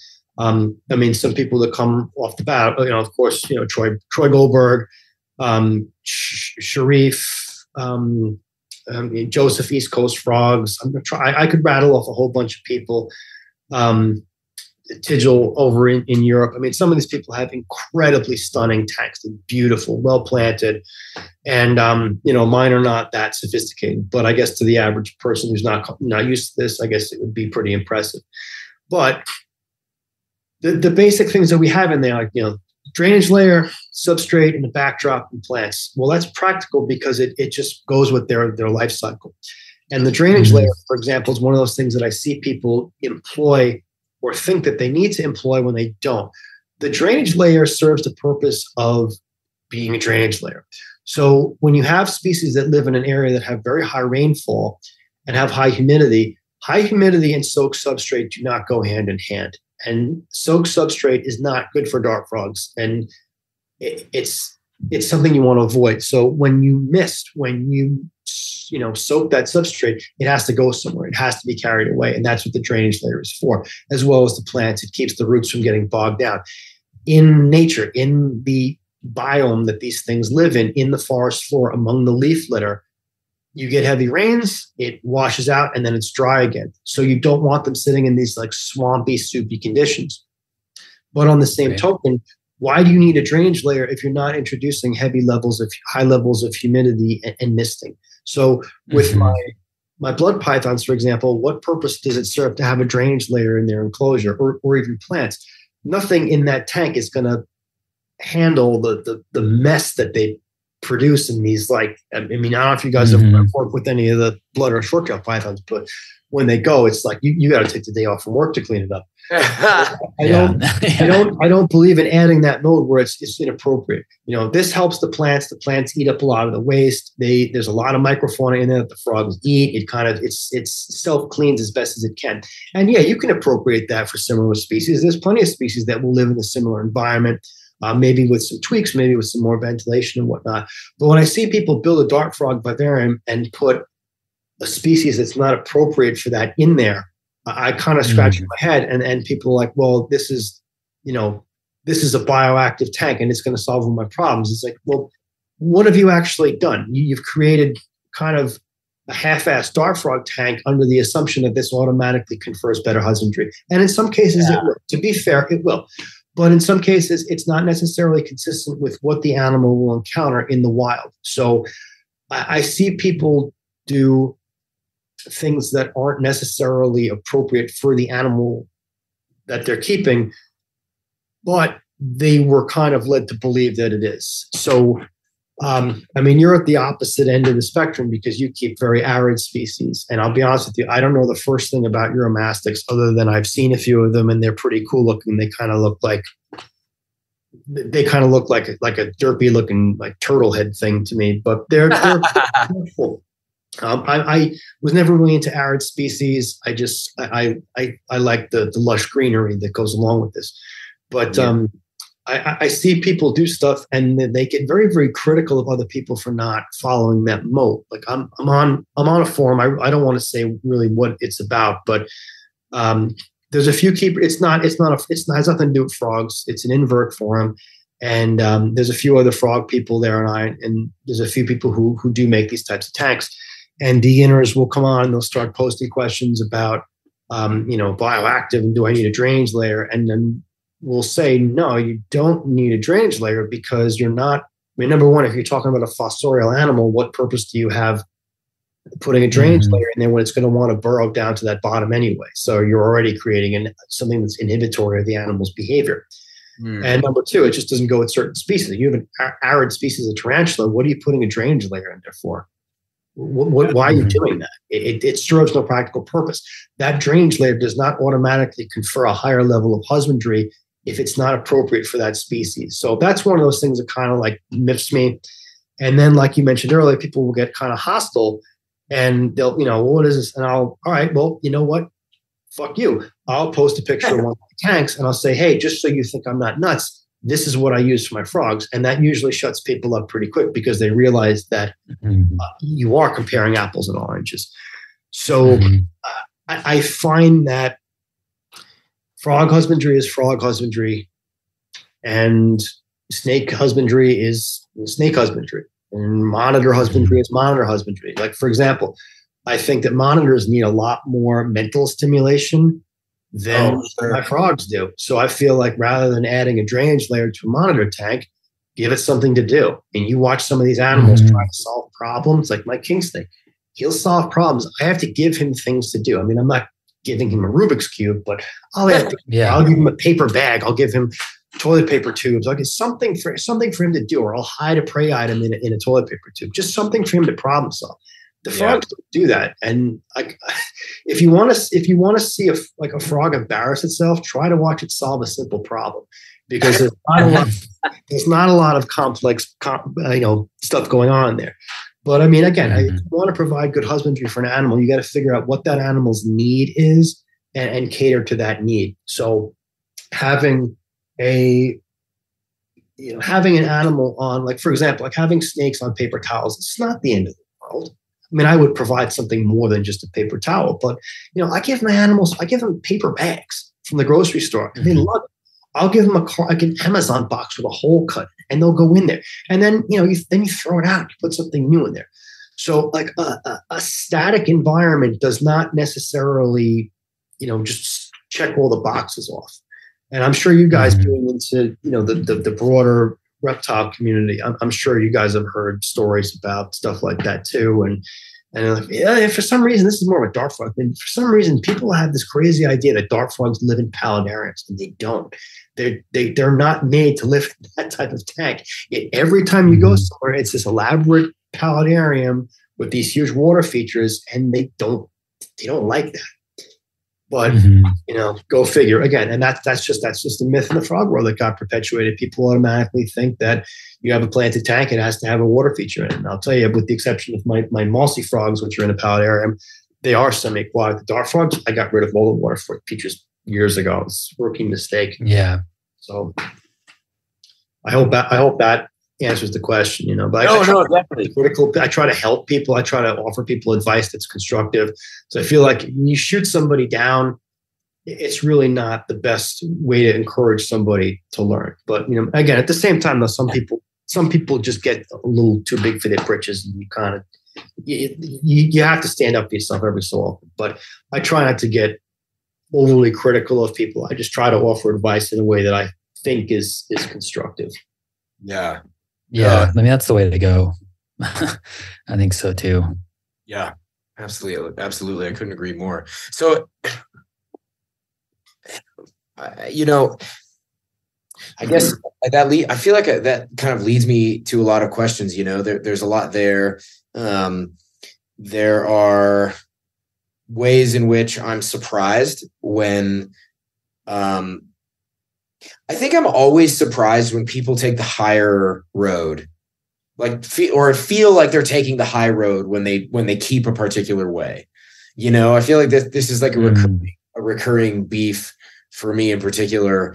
You know, anytime uh, people, you know, uh, not to try to take the wind out of my own sails here, but sometimes my own railing against like naturalistic keeping kind of comes from the fact that so many people who keep naturalistically elevate it above everything else and in their behavior and in their in their tonality. They say like, well, this is obviously mm. the right way of doing things. And so, you know, um, and maybe that's a little bit unfair of me, but but um, you know, I, I really love what you said there about trying to be more helpful to, to, to individuals. You know, I mean, I feel like I feel like this is something we should all be tasked to pay attention to and do. We we want more people keeping reptiles. We want and amphibians. We want more people paying attention to this area of the world so that way there's fewer people who can try to legislate us out of existence right? I, mean, I, I, I, agree. I agree. I, I don't like elitism. I, I don't like it. Mm-hmm. um, I mean don't get me wrong that there is you know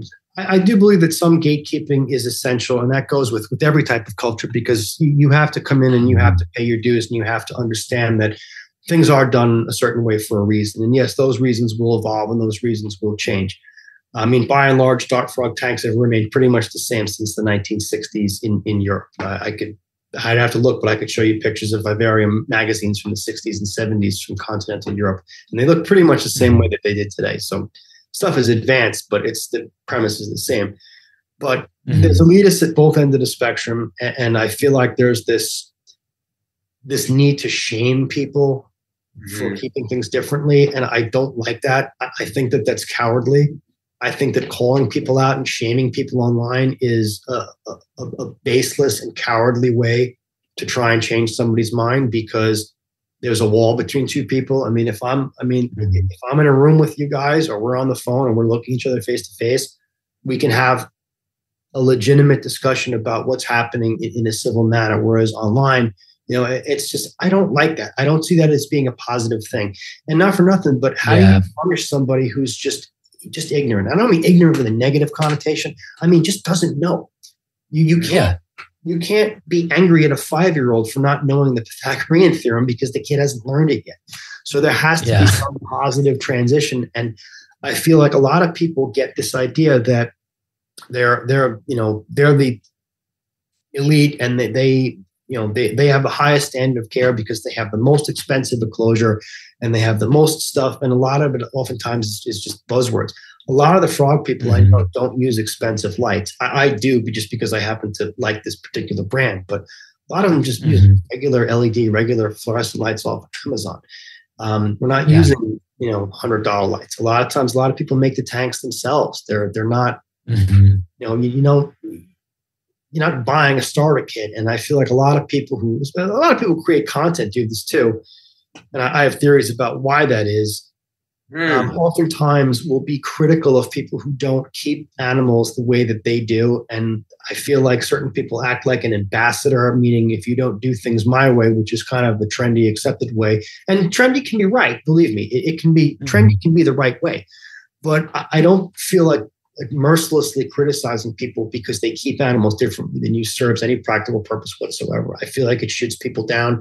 And some people, by by all means, do need to be corrected because they do things, and the, you know, you, people will come on, they'll ask a question, and they'll get the answer, and they don't like the answer, and they say, "I'm going to do it anyway." I, I can't help that person, and that person yeah, probably yeah. should be discouraged, but you know, not to the point of, of, of embarrassing someone. Like I've had I've had people send me pictures and and bounce ideas off my head, and, and I'll you know I don't go public with it. Uh, I'll just mm-hmm. politely say to them, I, I, don't think that this is a good idea, and these are my reasons why. Because they're asking questions because they're curious and they want to know. And I've had some people say, "Yeah, oh, of course, I'm going to do this anyway," and I say, "All right, well, look, you can do what you want. You know, I'm not, you know, I'm not the frog police. You can do what you want, but yeah. um, recommend." I don't know. I kind of like that. the idea. I kind of like the idea that you're the frog police. Yeah. I don't. I don't. yeah. Look, you know what? There's no experts. We're all students. We're Yeah. all students. And the moment you think you know everything is the moment that you know nothing. The older I've gotten, the more I've done this, the more I realize I don't know a damn thing.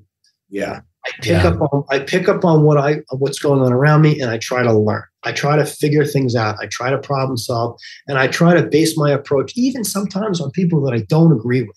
People that I think I have nothing Mhm. Let me hear it out because maybe there's some shred Yeah. of something in there that I can use. So Yeah. I, I just I don't like that criticism. I don't like that hostility. I think that it fosters a lot of animosity. It, it, it cuts people down who may have a good, uh, you know, a, a good leg up, who might do very Mhm. very well in a year, two years, or three years. So I, I don't care for that. I, I don't like elitism. I don't like people who, you know, oh, you know, I keep everything bioactive, and I, I look at the tanks, and it's like you're keeping pothos and cocoa fiber. You you haven't created anything natural. You've created the the garden Mhm. center at Home Depot. You know, I mean, yes, it, it's it's it, it is more aligned with what the animal would get in the in the in the wild. But again, wild is that's a a, more in depth Mhm. conversation. But you know, having a, again, frogs just function very well with the plants. They do. You really cannot have a dart frog tank without live plants. It's it's Mhm. functionally impossible. It just makes it a- a nightmare. Mm. But you know, at the same token, like I have plants from you know Home Depot. I have Home Depot plants now. I have Yeah. a pothos there that I've had for thirty years. I took a clipping Yeah. of pothos thirty years ago, and I've just taken cuttings of it. And it's in a lot of my tanks. But you know what? It's Yeah. analogous to something similar that they would encounter in Suriname, Guyana, or Brazil. I mean, yeah, the plant isn't the same plant, but it's kind of shaped the same way. It kind of accomplishes the same purpose. Then you get into more ornamental Mhm. stuff. But plants are just really good at maintaining community. They're really good at breaking down waste. And they also, the coolest thing about it is they, they grow and the, and the enclosure changes. So like my blood right. Is basically going to look the same. This will change. I'll have, I'll have, I have mushrooms blooming in a lot of them now. I don't know what it is, but this Mhm. it's been crazy with mushrooms. And then they'll disappear in 24 hours. But that that creates the, you know, the the I guess you want to call it the enrichment or whatever it is that the animals Yeah, need absolutely. this three dimensional thing. But the other animals that I don't do with that, I accomplish that in different ways. And it's just, it's, you know, uh, again, like I tell people, like, you know, I keep my frogs this way, but I keep my snakes that way just because it's, it's, Mm. it's good for one is not necessarily good for the other.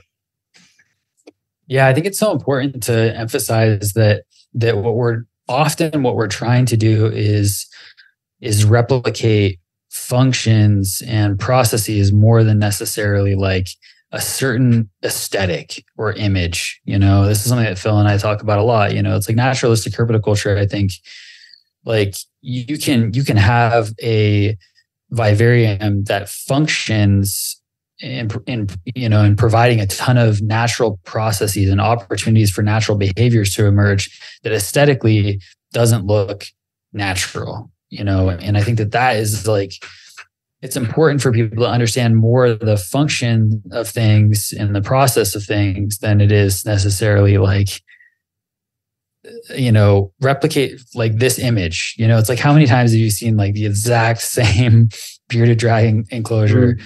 you know a, a million times. Yeah. But um, there's a lot of the- novel ways that you can do it. Yeah exactly right? You know and, and I, I don't i don't say that just just to slander it or anything but just to say that like i think it makes for a much richer experience for all involved including the keeper when you understand the process and and why you're you know providing these for these functions in the animals. Absolutely. and um yeah. Yeah No, you. I mean, you said it best right there. And I mean, I get it. it's also a balance. Like you don't mess with success, right? If something is working Mhm. relatively well for a large number of people, for a large number of animals, I get it. There's a reluctance to go and you know, if it ain't broke, don't fix it, kind of thing. I kind of, I really get that, you know. But I, I also think, um, you know, novelty is good for everybody. It's not just not just us. Novelty is good for everything. So why not why not try to take it a little bit of a you know a step further? And uh, I mean, as long as you're not doing harm, yeah, I don't see it as an issue. And again, I'm not. People are welcome to keep animals, you know, however they choose. And I think that there's yeah obviously there's, we have a responsibility because when you think about it, there's absolutely nothing natural about what we do. Nothing right. naturally lives in a glass box. Nothing naturally lives in you know any which way you want to cut it. We we are responsible with them because they're not you know in mm-hmm. they don't nothing lives in a glass box out in the wild. Nothing lives on cocoa fiber. You know nothing lives on cocoa mm-hmm. chips. You know nothing lives over a layer of leak. But so we are. We're responsible for them. Mm-hmm. We're responsible to provide them with appropriate care and to give them a good quality of life and to make sure that they're you know they're that they do well and that they're given every opportunity to act as close to what they do. But um, I, I feel like you can accomplish that in, in, in different ways. And, uh, you know, like I said before about the monitors, you know, hi, having a big enclosure is great. You know, hide prey items around someone that you don't necessarily get caught up in, in, in plants, especially if the animal's going to wreck them. I mean, like my blood python, she, I mean, she's, she's a bulldozer. But I mean, her, mm-hmm. you know, her enclosure again, it's not, it's not nothing remarkable. She's got her hides, she's got her light. Um, I, I actually, I actually stick a, a, little Tupperware container of hardwood charcoal in there because it actually it does really well with odor control.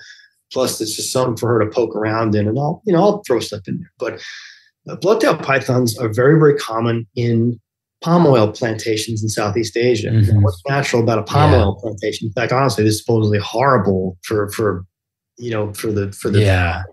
And they do exceptionally well there. It's a man-made environment. Um, I mean, there's plants, there's substrate, there's palm fronds, there's places for them to hide, and there's rats. It, it's yep.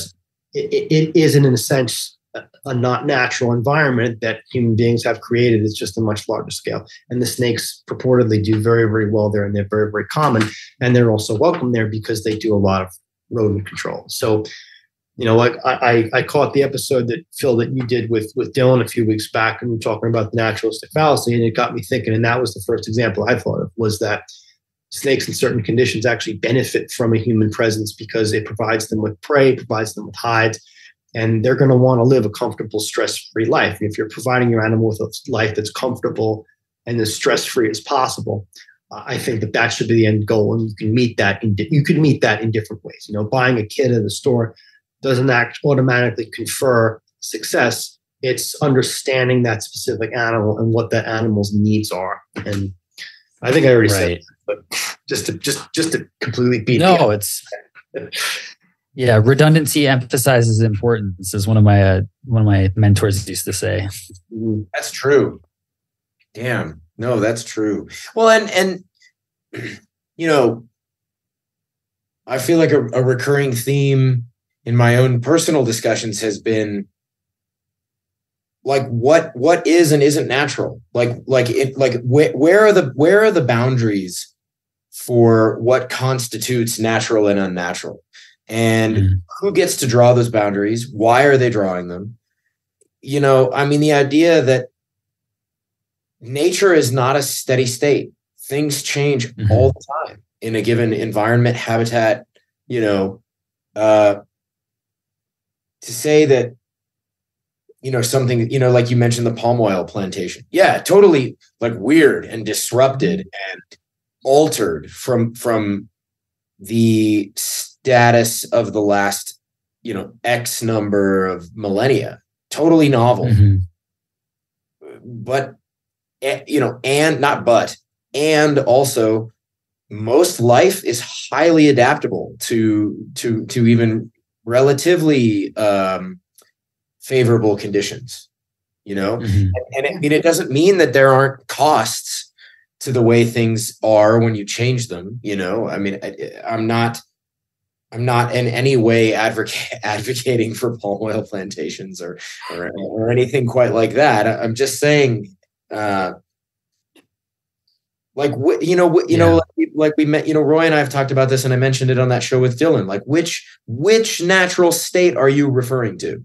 Which one? Mm-hmm. because depending on what animal you're talking about there's lots of different natural states. I mean and there's ways that that what we might can otherwise consider the natural state have changed way before our own understanding. So like another one that i i love to to go back to is the um it's some stat about how something around 70 something percent of the flora and fauna of the San Francisco Bay is completely invasive and non-native. Mm-hmm. Mm-hmm. And and I have something else to say about that in a second, but it's like Why did that happen? Because of the ballasts of ships. I mean, you want to talk, you want to talk about like an accidental spreading and mixing of of of, of biodiversity. Like it, no one how, what's unnatural about that? That's not not natural. That's that is that is you know like it like I, am not interested in a, a dichotomy in a in a dichotomy that places human beings as separate from or in opposition to the natural world. Now, it doesn't mean there's not effect. Of course, obviously, it'd be foolish to argue anything different. But like, natural is a weird word. Invasive and, and not native. Like, okay, at what point is something native or endemic? And why do you get to decide it? Why is it at that point and not another? You know, I mean, it, it's it's I don't know. This is, I mean, maybe we're getting a little, maybe I'm, I'm getting a little bit off topic here, but I, it's, it's just something that I feel strongly passionate about right now because I'll, I'll, I'll, I'll offer some input. Mm. People, people live with a tremendous sense of guilt, especially people who've, you know, lived within the past 50 years, I, I think, because during the past 50 years, the, the narrative that the earth is in, in jeopardy has has perpetuated for quite some time and justifiably so. I feel like people as human beings we, we feel a tremendous amount of guilt and we project our feelings onto other living things mm-hmm. and i feel like trying to understand the world the way another living thing perceives it i don't think that that's within the realm of possibility it, there, things are analogous and we know scientifically it's been proven that certain animals will behave Similarly, like oh, like I mentioned the earlier the analogy between the quagga and, and birds.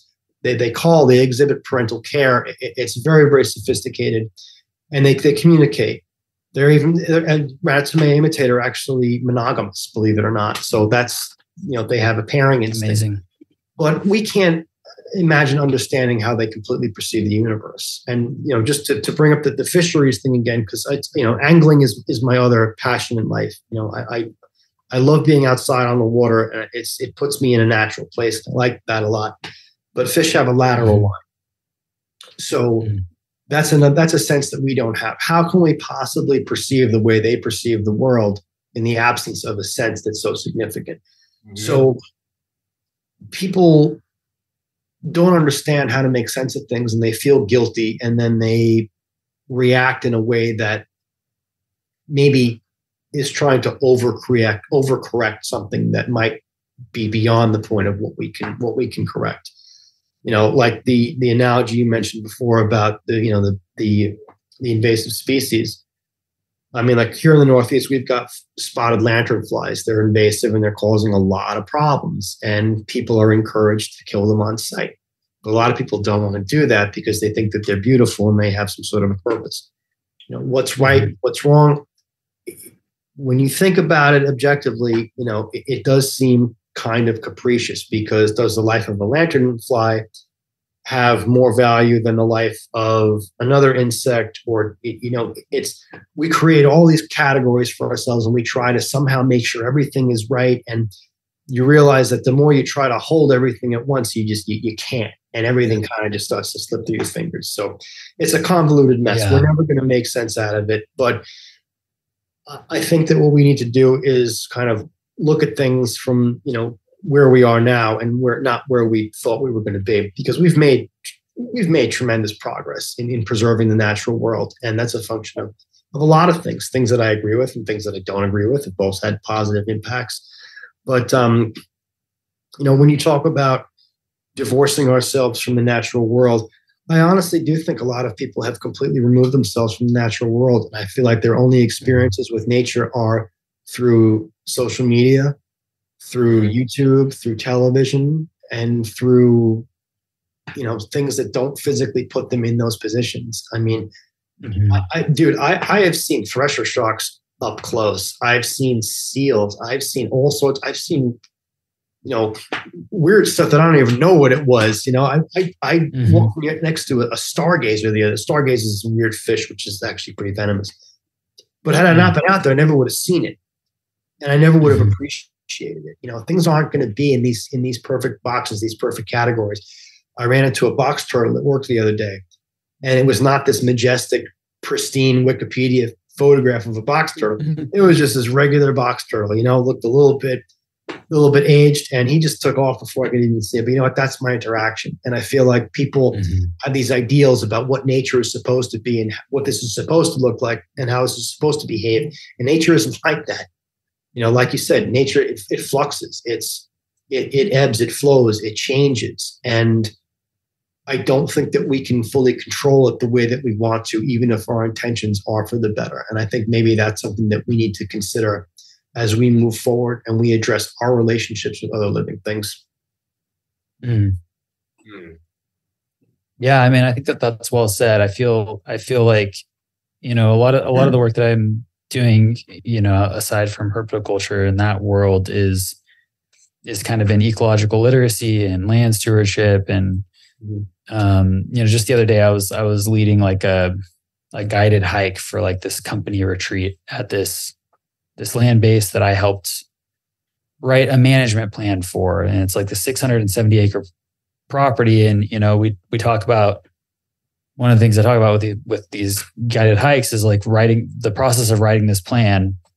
You know, it's like this 200 page document and, and it's also fully like an, it's, a, it's an adaptive management plan because the reality is, you know all all that it is is a bunch of suggestions for okay this is what we would suggest to do if you're trying to achieve this objective but the reality is that once you take this action you need to reorient because we don't exactly know how that how that action like what are all we can't anticipate all of the things that that action could set in motion mm-hmm. and um, i think that that's just something that feels like a consistently important thing to for for us to understand about the natural world is is and is, to be both humbled by it and and awed by it. And I think that in some ways that is a merit that I see in herpetoculture because again, you're you're um you're interacting with other living creatures and like you say it's like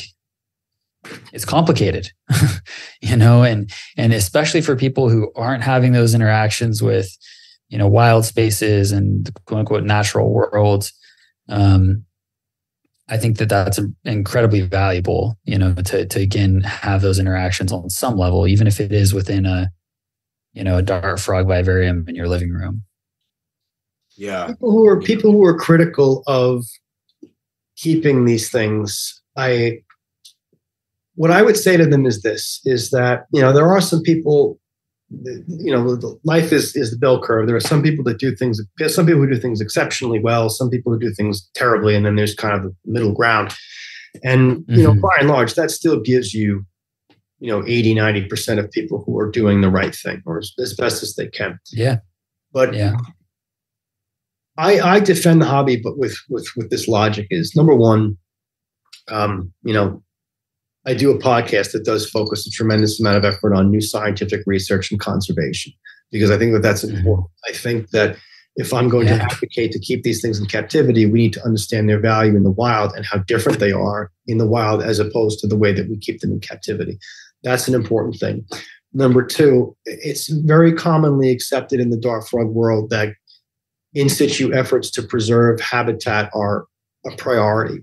And I interview a lot of people who do in situ breeding programs, you know, frog farming, which is sustainable, things mm-hmm. that give back to local communities, because that's another thing to, to consider is it's very easier for us to sit in an ivory tower here, and then there are people that live in a different part of the world who have their own struggles. They have their own priorities, right. their own needs, their own desires, and this is a part of their world.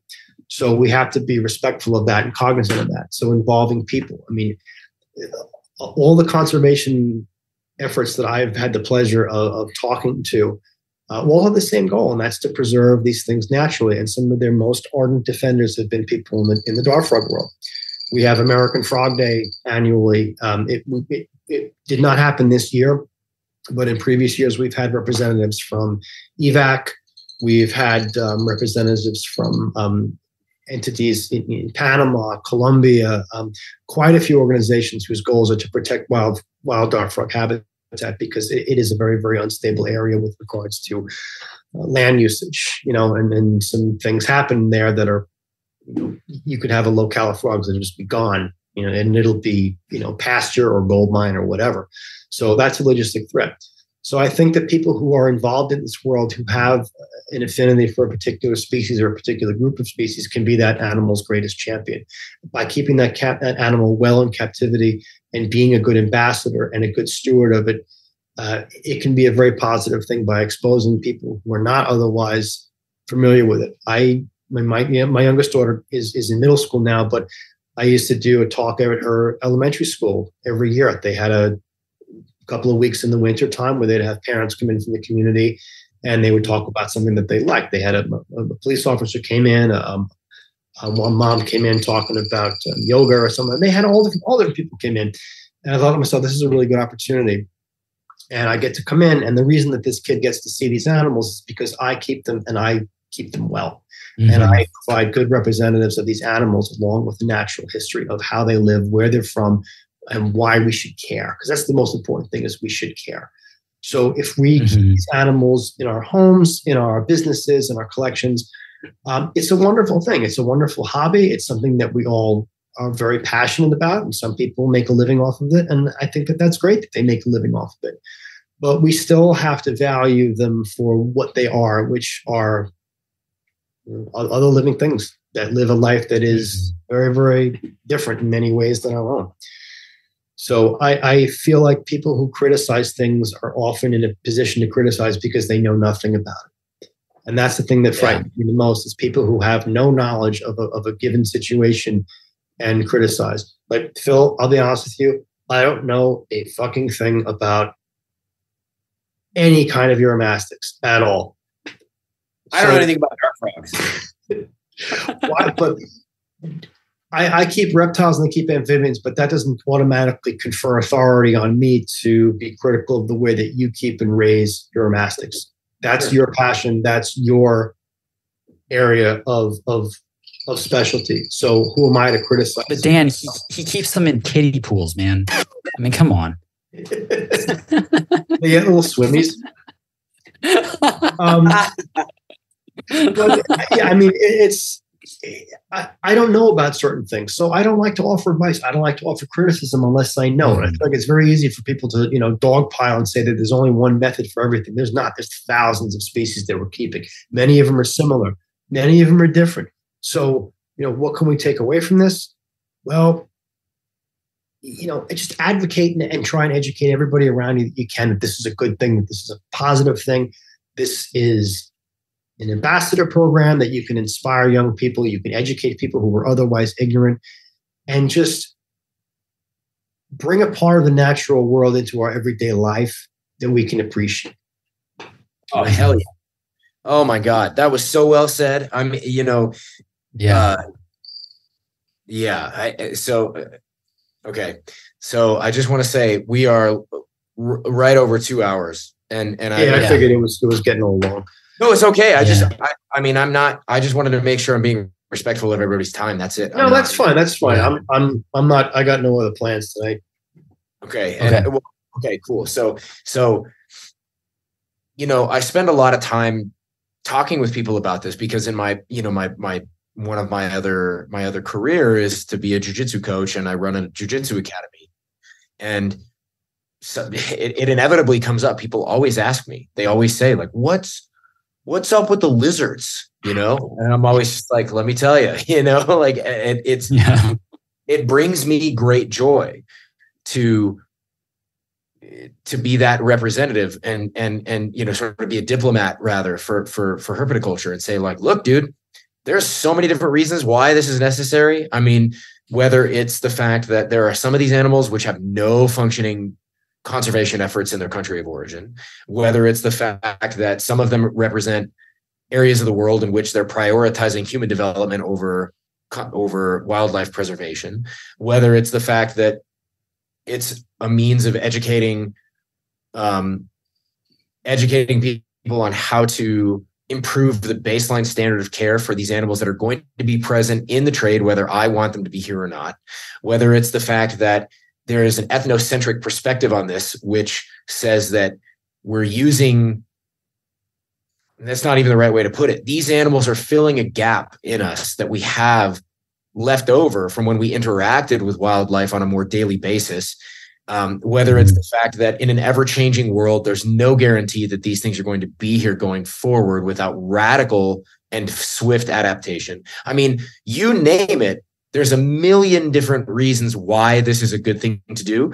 And when I get to talk to people about it and they say, oh, I never thought about it that way. And I'm like, yeah, hell yeah, absolutely. Yeah. Like, mm-hmm. you know, like that makes me feel extremely fulfilled, you know, because I remember growing up and having people look at what I do is like, why do you do that? Like, why, why are you, why do you, well, what's, uh, why do you like lizards, weirdo? You know? And I'm like, mm-hmm. why do you mm-hmm. like anime, weirdo? Like, leave me alone. And I love anime, you know? It's just like, it's, uh, the way it's evolved, um, the way that so many more uh, let's say next generation herpetoculturists are redefining the why and the how behind what we do. I mean, it's it, it's incredible. I mean, it's absolutely mm-hmm. remarkable, you know. And and I mean to be just to be privy to all of that um, and around it is like a yeah, it's nuts. I mean, it's a weird. It's weird. It's like it's a weird place to be. It's weird that this is the world we live in right now. You know. Um, yeah, it is because you're, you're dealing with other living things. Like if you're into, if you're into football, like I'm, I, I'll be honest, I, I don't. I was never really into football. I don't know much about it. And I asked a guy I worked with years ago. I said, just, I said, explain this to me. So why do you like this? He said, well, he goes, I like the strategy. I like the planning. I like the execution of the plans. I said, you know what? I said, I get that. I said, it's not mm-hmm. really my thing, but uh, the fact that you explain it to me like that shows me that you really care about it. And even though it's not my thing, I respect the fact that you care about it in that way. You know, the same yeah. thing with, with, with with anything. Like I, I, try not to be, I try not to be critical of people who have a legit interest in in something, you know, even if it's something that I don't really agree with or think is you know that interesting. I, I find that people who think and people who have hobbies and people who have interests, people who have passions, people who, who are eclectic, you you I, I want to know what you have to say. And again, that also kind of goes back to the mm-hmm. podcast, interviewing people. But um, I think that it's it's it's important to have interests and understand why people have those interests. And I'll just I'll tell you guys one other thing. I've in 152 episodes, out of those, I've probably interviewed probably probably 100 to 120 different people. Mm-hmm. Uh, some people have had them multiple times. Let's just say 100, 100 to 120 people. Not one person has ever told me that they were critical of the amphibian hobby. Not one. Mm-hmm. And I've had people from all different walks of life. Um, one or two people just they really they weren't amphibian people they were researchers with within like chemistry or something like that and they, the fact that they just worked with frogs professionally was kind of incidental, but they still, you know, had no problem with it. Every single person started out catching frogs, toads, salamanders, and lizards. Mm-hmm. Every person, every hobbyist, every researcher, every scientist, every author, every vet, every vet's assistant, all of them. So every one of those people in all those different walks of life had the same experience as a kid being out in the wild, you know, catching animals, looking at them for a little while, you know, letting them go. And that was the impetus for them to become the people that they are today. And many of them, all, all of them, all of them are very remarkable people in their own right. And that and that was a catalyst to that. So, you know, while we're while we're, you know, talking about interest in people, you know, again, without this, that wouldn't have fostered all those people, you know? Yeah. All people who put in all that conservation work, people who are physically in those environments, in those parts of the world, doing this for basically nothing. You know, I mean, you're not, you're not, you're not living high on the hog doing this type of work. And they're right. doing it for many of the same reasons that we are. You know, so some of them have different opinions. Not everybody is is in, in, in favor of certain things, but you know, mm-hmm. at the end of the day, it's all it's all a means to an end. Yeah. Man. Oh my God. I I like I this has been such a great conversation. My brain is so fried. Some deep shit, right? like in a good way, you know, like in a really, really good yeah. way. Um, I mean, yeah, I'm I'm with you there. Yeah, I'm I'm like yeah. I am struck at once by my desire for the conversation to continue and also to I don't know. Like, is that okay? Is that okay to say? I don't mean to be. I like. No, I, it's fine. I think. I think it makes sense to probably move toward toward our closing question, but I also yeah. feel like simultaneously, like I'm, I feel with you and just like this has been really rich and yeah. Um, I mean, Dan, it's like it's it's kind of amazing because I think we got through like I don't know two thirds of the questions or something that we had prepared for you, and um, I mean, kind I think of that that really that I think that really like speaks to just your um your thoughtfulness and your knowledge on this subject, and um, yeah, I, I I'm I'm I'm blown away and and um I feel like I'd love to have you on again at some point in the future if you'd be willing to oh, Thanks. come I, back yeah, and I, talk to us knuckleheads. I know, I know that I know time is I know time is a factor, and to be honest, I, I usually wrap my episodes up around an hour and a half, um, just for, mm-hmm. my own time constraints. But um, like I said, I, I've I've been going, you know, 14 days straight with work, and I recorded two episodes yesterday. I rec- I was editing for like three hours before I got in. So I'm kind of like, I'm real amped up and ready to go. After this, it's going to be over for a while. But um, I, I, what I like about you guys is your number one, you, your professionalism, and you guys are willing to listen, and you guys are willing to offer input into ideas that you think are are you know are, are valid and interesting. You know, it, it's it's been a real pleasure talking to you guys, and yeah, I hope I didn't completely derail everything the ad lined up, but no. No, no, you know, sometimes it's, it's it's nice. You know, I, I I interview a lot of people, and sometimes it's nice to be able to speak on my own behalf because I try not to insert too much of myself into the show. I don't know why I'm moving this microphone closer because it's not even on. but yeah, no, I, I get it. I, I have a tremendous amount of respect for the two you guys. You guys are very passionate about what you do um, you put out a good podcast and it shows, you know, I mean, I, I, you know, not to offend anybody, but like I, I probably would have blown you off if I wasn't interested. no, man. Well, I mean, it, I appreciate it. I appreciate yeah. that you're willing because yeah, these are the exact kind of conversations that, you know, when we set out to have this podcast, this is exactly the kind of thing that I was hoping that would would happen. And so um and and like yeah, the no derailment whatsoever. This is like what it's all about. You know, if the the you know, if every guest was willing to just kind of you know expand on their thoughts the way you've done here, it would be it'd be good. It'd be a good thing for yeah. for herpetoculture and for for project herpetoculture. So I appreciate Thank it. You. I, I appreciate the kind words. Uh, I do. Thank you and we and we yeah. genuinely it's a reciprocal it's a completely completely reciprocated sense of respect and admiration for what you're doing man i mean it's it's like oh we, for sure we're really fortunate to have anybody's time at all and we're really lucky that we happen to be in a place where we can get individuals like yourself to come and talk with us and like have these kinds of conversations and we're really hopeful that I mean, we're going to ride this as long as we can. You know, it's not as if like we've only been doing it here. It's not as if we're going to, you know, it's not as if we're we're nearing the end or something like that. But it it no, you know, just just just for the sake of, of putting it out there, like we really want to see how far this can go, and we have you know so many people that we want to speak to, and so every one of these is is a um an incredible learning experience. So, uh, you know, thank thank you for, for the time and everything you're up to. Thank you a lot. It's it's you know, it's a new podcasting is a new media, and it's kind of it's becoming more and more popular. Yeah. You, you got to separate the men from the boys, you know, women from girls. you got to who's whoever's going to be serious about it, and whoever's not going to be serious about it. And you guys are serious about it, and it shows. You know, like I said earlier, a lot of people come out, they think a podcast is going to be easy, and it's not. It's a labor of love.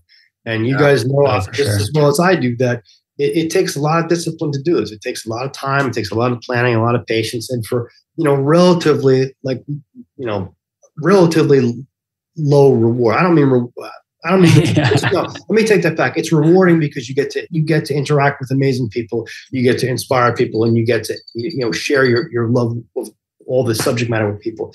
But I mean, yeah. no one's look. I'm not. I'm not making money off of any of this. You know, uh, no. I, I, figured it out once. If I did this full time, I'd make 14 cents an hour. So, um, you know, I, I, I, do, I do with my, my patrons, which I'm very thankful for. I do appreciate my patrons. That does help. But um, you know, like you're not you're not driving around a Maserati if you're podcasting, unless you're like, I don't even know if Rogan drives a Maserati, but uh, it's it's it's a it's a labor of love, and the way you guys do it, it, it definitely shows. Oh man, well, thank Thanks you for that, man. It's really super awesome to hear. Thank you so much. Yeah. Um, well, so we got we got one final question for you, and I feel like in in some ways we've answered it all already, but I, I you know, I'd, I'd, be remiss if I didn't ask it because it's become such. We've only yeah. not asked like one person. It was only Philippe de Vosjoli that we did not ask the question to because he, if like the whole show was was the question. Do you know how pissed yeah. off I got at you guys when you got Philippe? I was like, I was like, how did these guys get Philippe? I've been, I was like, I know a guy who knows Philippe. I'm gonna, I'll, I'll get him on the show. One point, I heard him. I was oh, like, sure. I was like, that's like yeah. finding unicorn. They got Philippe. Um, I was so jealous. No, I'm, I'm joking. I'm sorry. Yeah, no, I hear you. I felt so honored when when he agreed to come on the show because. I mean, we both, you know, Phil and I both know Philippe a little bit, but not super, super well. And we both have obviously great respect for him. But when he said yes, I was like, oh no, this shit's real. it was like we, yeah. we better not mess this one up. Well, and what's and what's really funny about that is like uh, it, it, when we have him on again because I'm I'm sure we will. Mm-hmm. Um, hope so. I, I, yeah, hopefully, right? Uh, I, I feel like in some ways the, the, the conversation we had, the questions we asked, don't even fit the bill anymore. It's like looking back, it's like, mm. man, we really we really shit the bed on that one. We could have asked way better questions and had way. Do you know what I'm saying? It's like there's. yeah, I I know what you're talking about. That happens to me too. You get to the end and you're like, why didn't I ask this? But no, the yeah. interview with Philippe was great, and Philippe Philippe is like, I, I have some of Philippe's books from the '80s, and oh, yeah. I, yeah. I mean, I don't know if you guys, uh, Bob Mailloux just passed away yeah, yeah. from Parkinson's, yeah. and um, and he and Philippe yeah. worked on quite a few projects, and it's just uh, these these guys they really deserve a lot of credit, and then Philippe and Bob, so the other guys, just oh, yeah. you know, any, like younger people who listen who aren't familiar with who they are, find out who these guys are because they did the amazing. Yeah, yeah, no, that's all true. They definitely so true. yeah true in ways that's hard to describe. Um, uh, so, so the the question that we ask everybody is um, why herpetoculture, and of course that can be as broad or as specific as you like. But I'm curious, sort of, what your reaction to that question is. I think about what motivates different people, and we're all motivated by different things, whether that's a function of what we what we're born to be, what we're raised to be, or any combination thereof. This has just always felt right to me. It's always been something that's been mm. comfortable to me. I've never had any negative memories or bad experiences associated with this. Whereas other things in my life, I've had bad experiences and, and negative stuff that surrounded it. This has always been positive for me, and I always want to keep it to be positive. I like to watch things grow. I like to watch things thrive. I like watching the plants grow. I like watching the frogs call or listening to the frogs call. I, I like to make things live. I don't like to see things die from neglect. It, it, honestly drives me crazy. Maybe that's just the compulsive personality traits I have. I have a hard time letting things go, but I, I like to see things live, thrive, and grow. And this is just a good catalyst for that. And it gives me something to do. It's um, you, know, you think about like certain hobby. When you think about what, what what is a hobby, a hobby is basically just a way to spend the time that you're not stressed out and miserable. And mm. it's just it's, it's it's a good hobby for me. I, I take I take a lot of you know it, it's stressful. It does, but it's a good stress. I'd rather be stressed out about my you know my frogs not having enough fruit flies than um, you know my my mortgage or something like that. I mean, thankfully, I don't really have to worry about that either now. But um, you know, it's.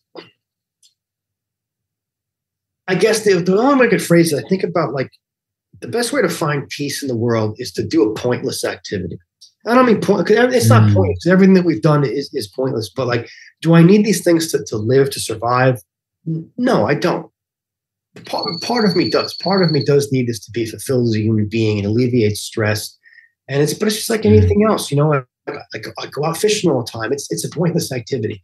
You you, you play chess or you watch football or you know you, you do something. It's it's not essential for your for your survival. It's not putting food in your mouth. It's not putting a roof over your head. It's not giving you water. It's not doing any of that. It's just a diversion, and it's a good diversion. Mm. Just I find peace in it. I enjoy it. I like problem solving. I like figuring new things out. I like talking to other people about it. It just satisfies that need in me. Whether it was something else, destined to be something else, I don't know. But this is what it is, and you know, I, I don't see any any plan to not do this anymore at some point, you know? I mean, obviously, I don't want to have these many animals if I make it to 80, but I can't imagine myself not having either a frog or a spider or a snake or something like that around. It just seems mm-hmm. strange, strange to me, you know. And it's funny because I, you guys mentioned earlier about, um, I think Phil, you mentioned about when you have friends or whatnot come over. I don't know if you guys have kids or not, but um, it's funny because I, I have to explain to my daughters that not everybody lives like this. Going on? So yeah. it's I say, look, you know, um, don't mention this to everybody because it might not everybody might be comfortable with it, you know, and most yeah. people don't have a problem with it, but um, you know, not everybody has 30 frogs in the basement. So um, just the lucky ones. It's it's it's a lifestyle. Everyone's got a quirk. Everyone's got a certain thing that they're into. You know, some. I mean, I, it's I, it's socially acceptable to be like crazy for like you know Disney and, and the Giants, but you know, being surrounded by a bunch of frogs that are uh, diurnal frogs that are calling in the dark is just is weird. But yeah, I don't know. It, it makes me happy. makes me happy. Brings me joy. It gives me something productive to do with my time and I that's what I take away from it. You know, it's like having a garden, only instead of uh, growing mm. tomatoes, it's it's frogs, and they don't taste good. Beautiful. taste good like tomatoes. but they look even better. Yeah, they look like nice frogs. Yeah, one of them, my my terribilis, mint terribilis, such a beautiful frog. It looks like oh, a big, yeah. green, a big fat green golf ball. so awesome, man. Yeah. I love that answer. I just and, and I resonate with a lot of it. I love that. Just like the best way to be happy is to just do a pointless thing. you know, don't spend like, your time being miserable. You know, uh, I, I tried oh, it, man. Yeah, I tried it, and we have to live. It.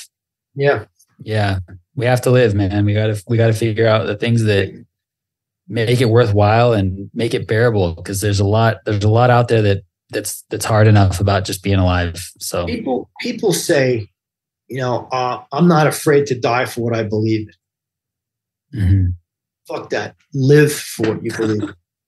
Live yeah. for what you believe in. Get up every day, look in the mirror, and say, I'm happy with what I'm doing. And if you're not happy, change it.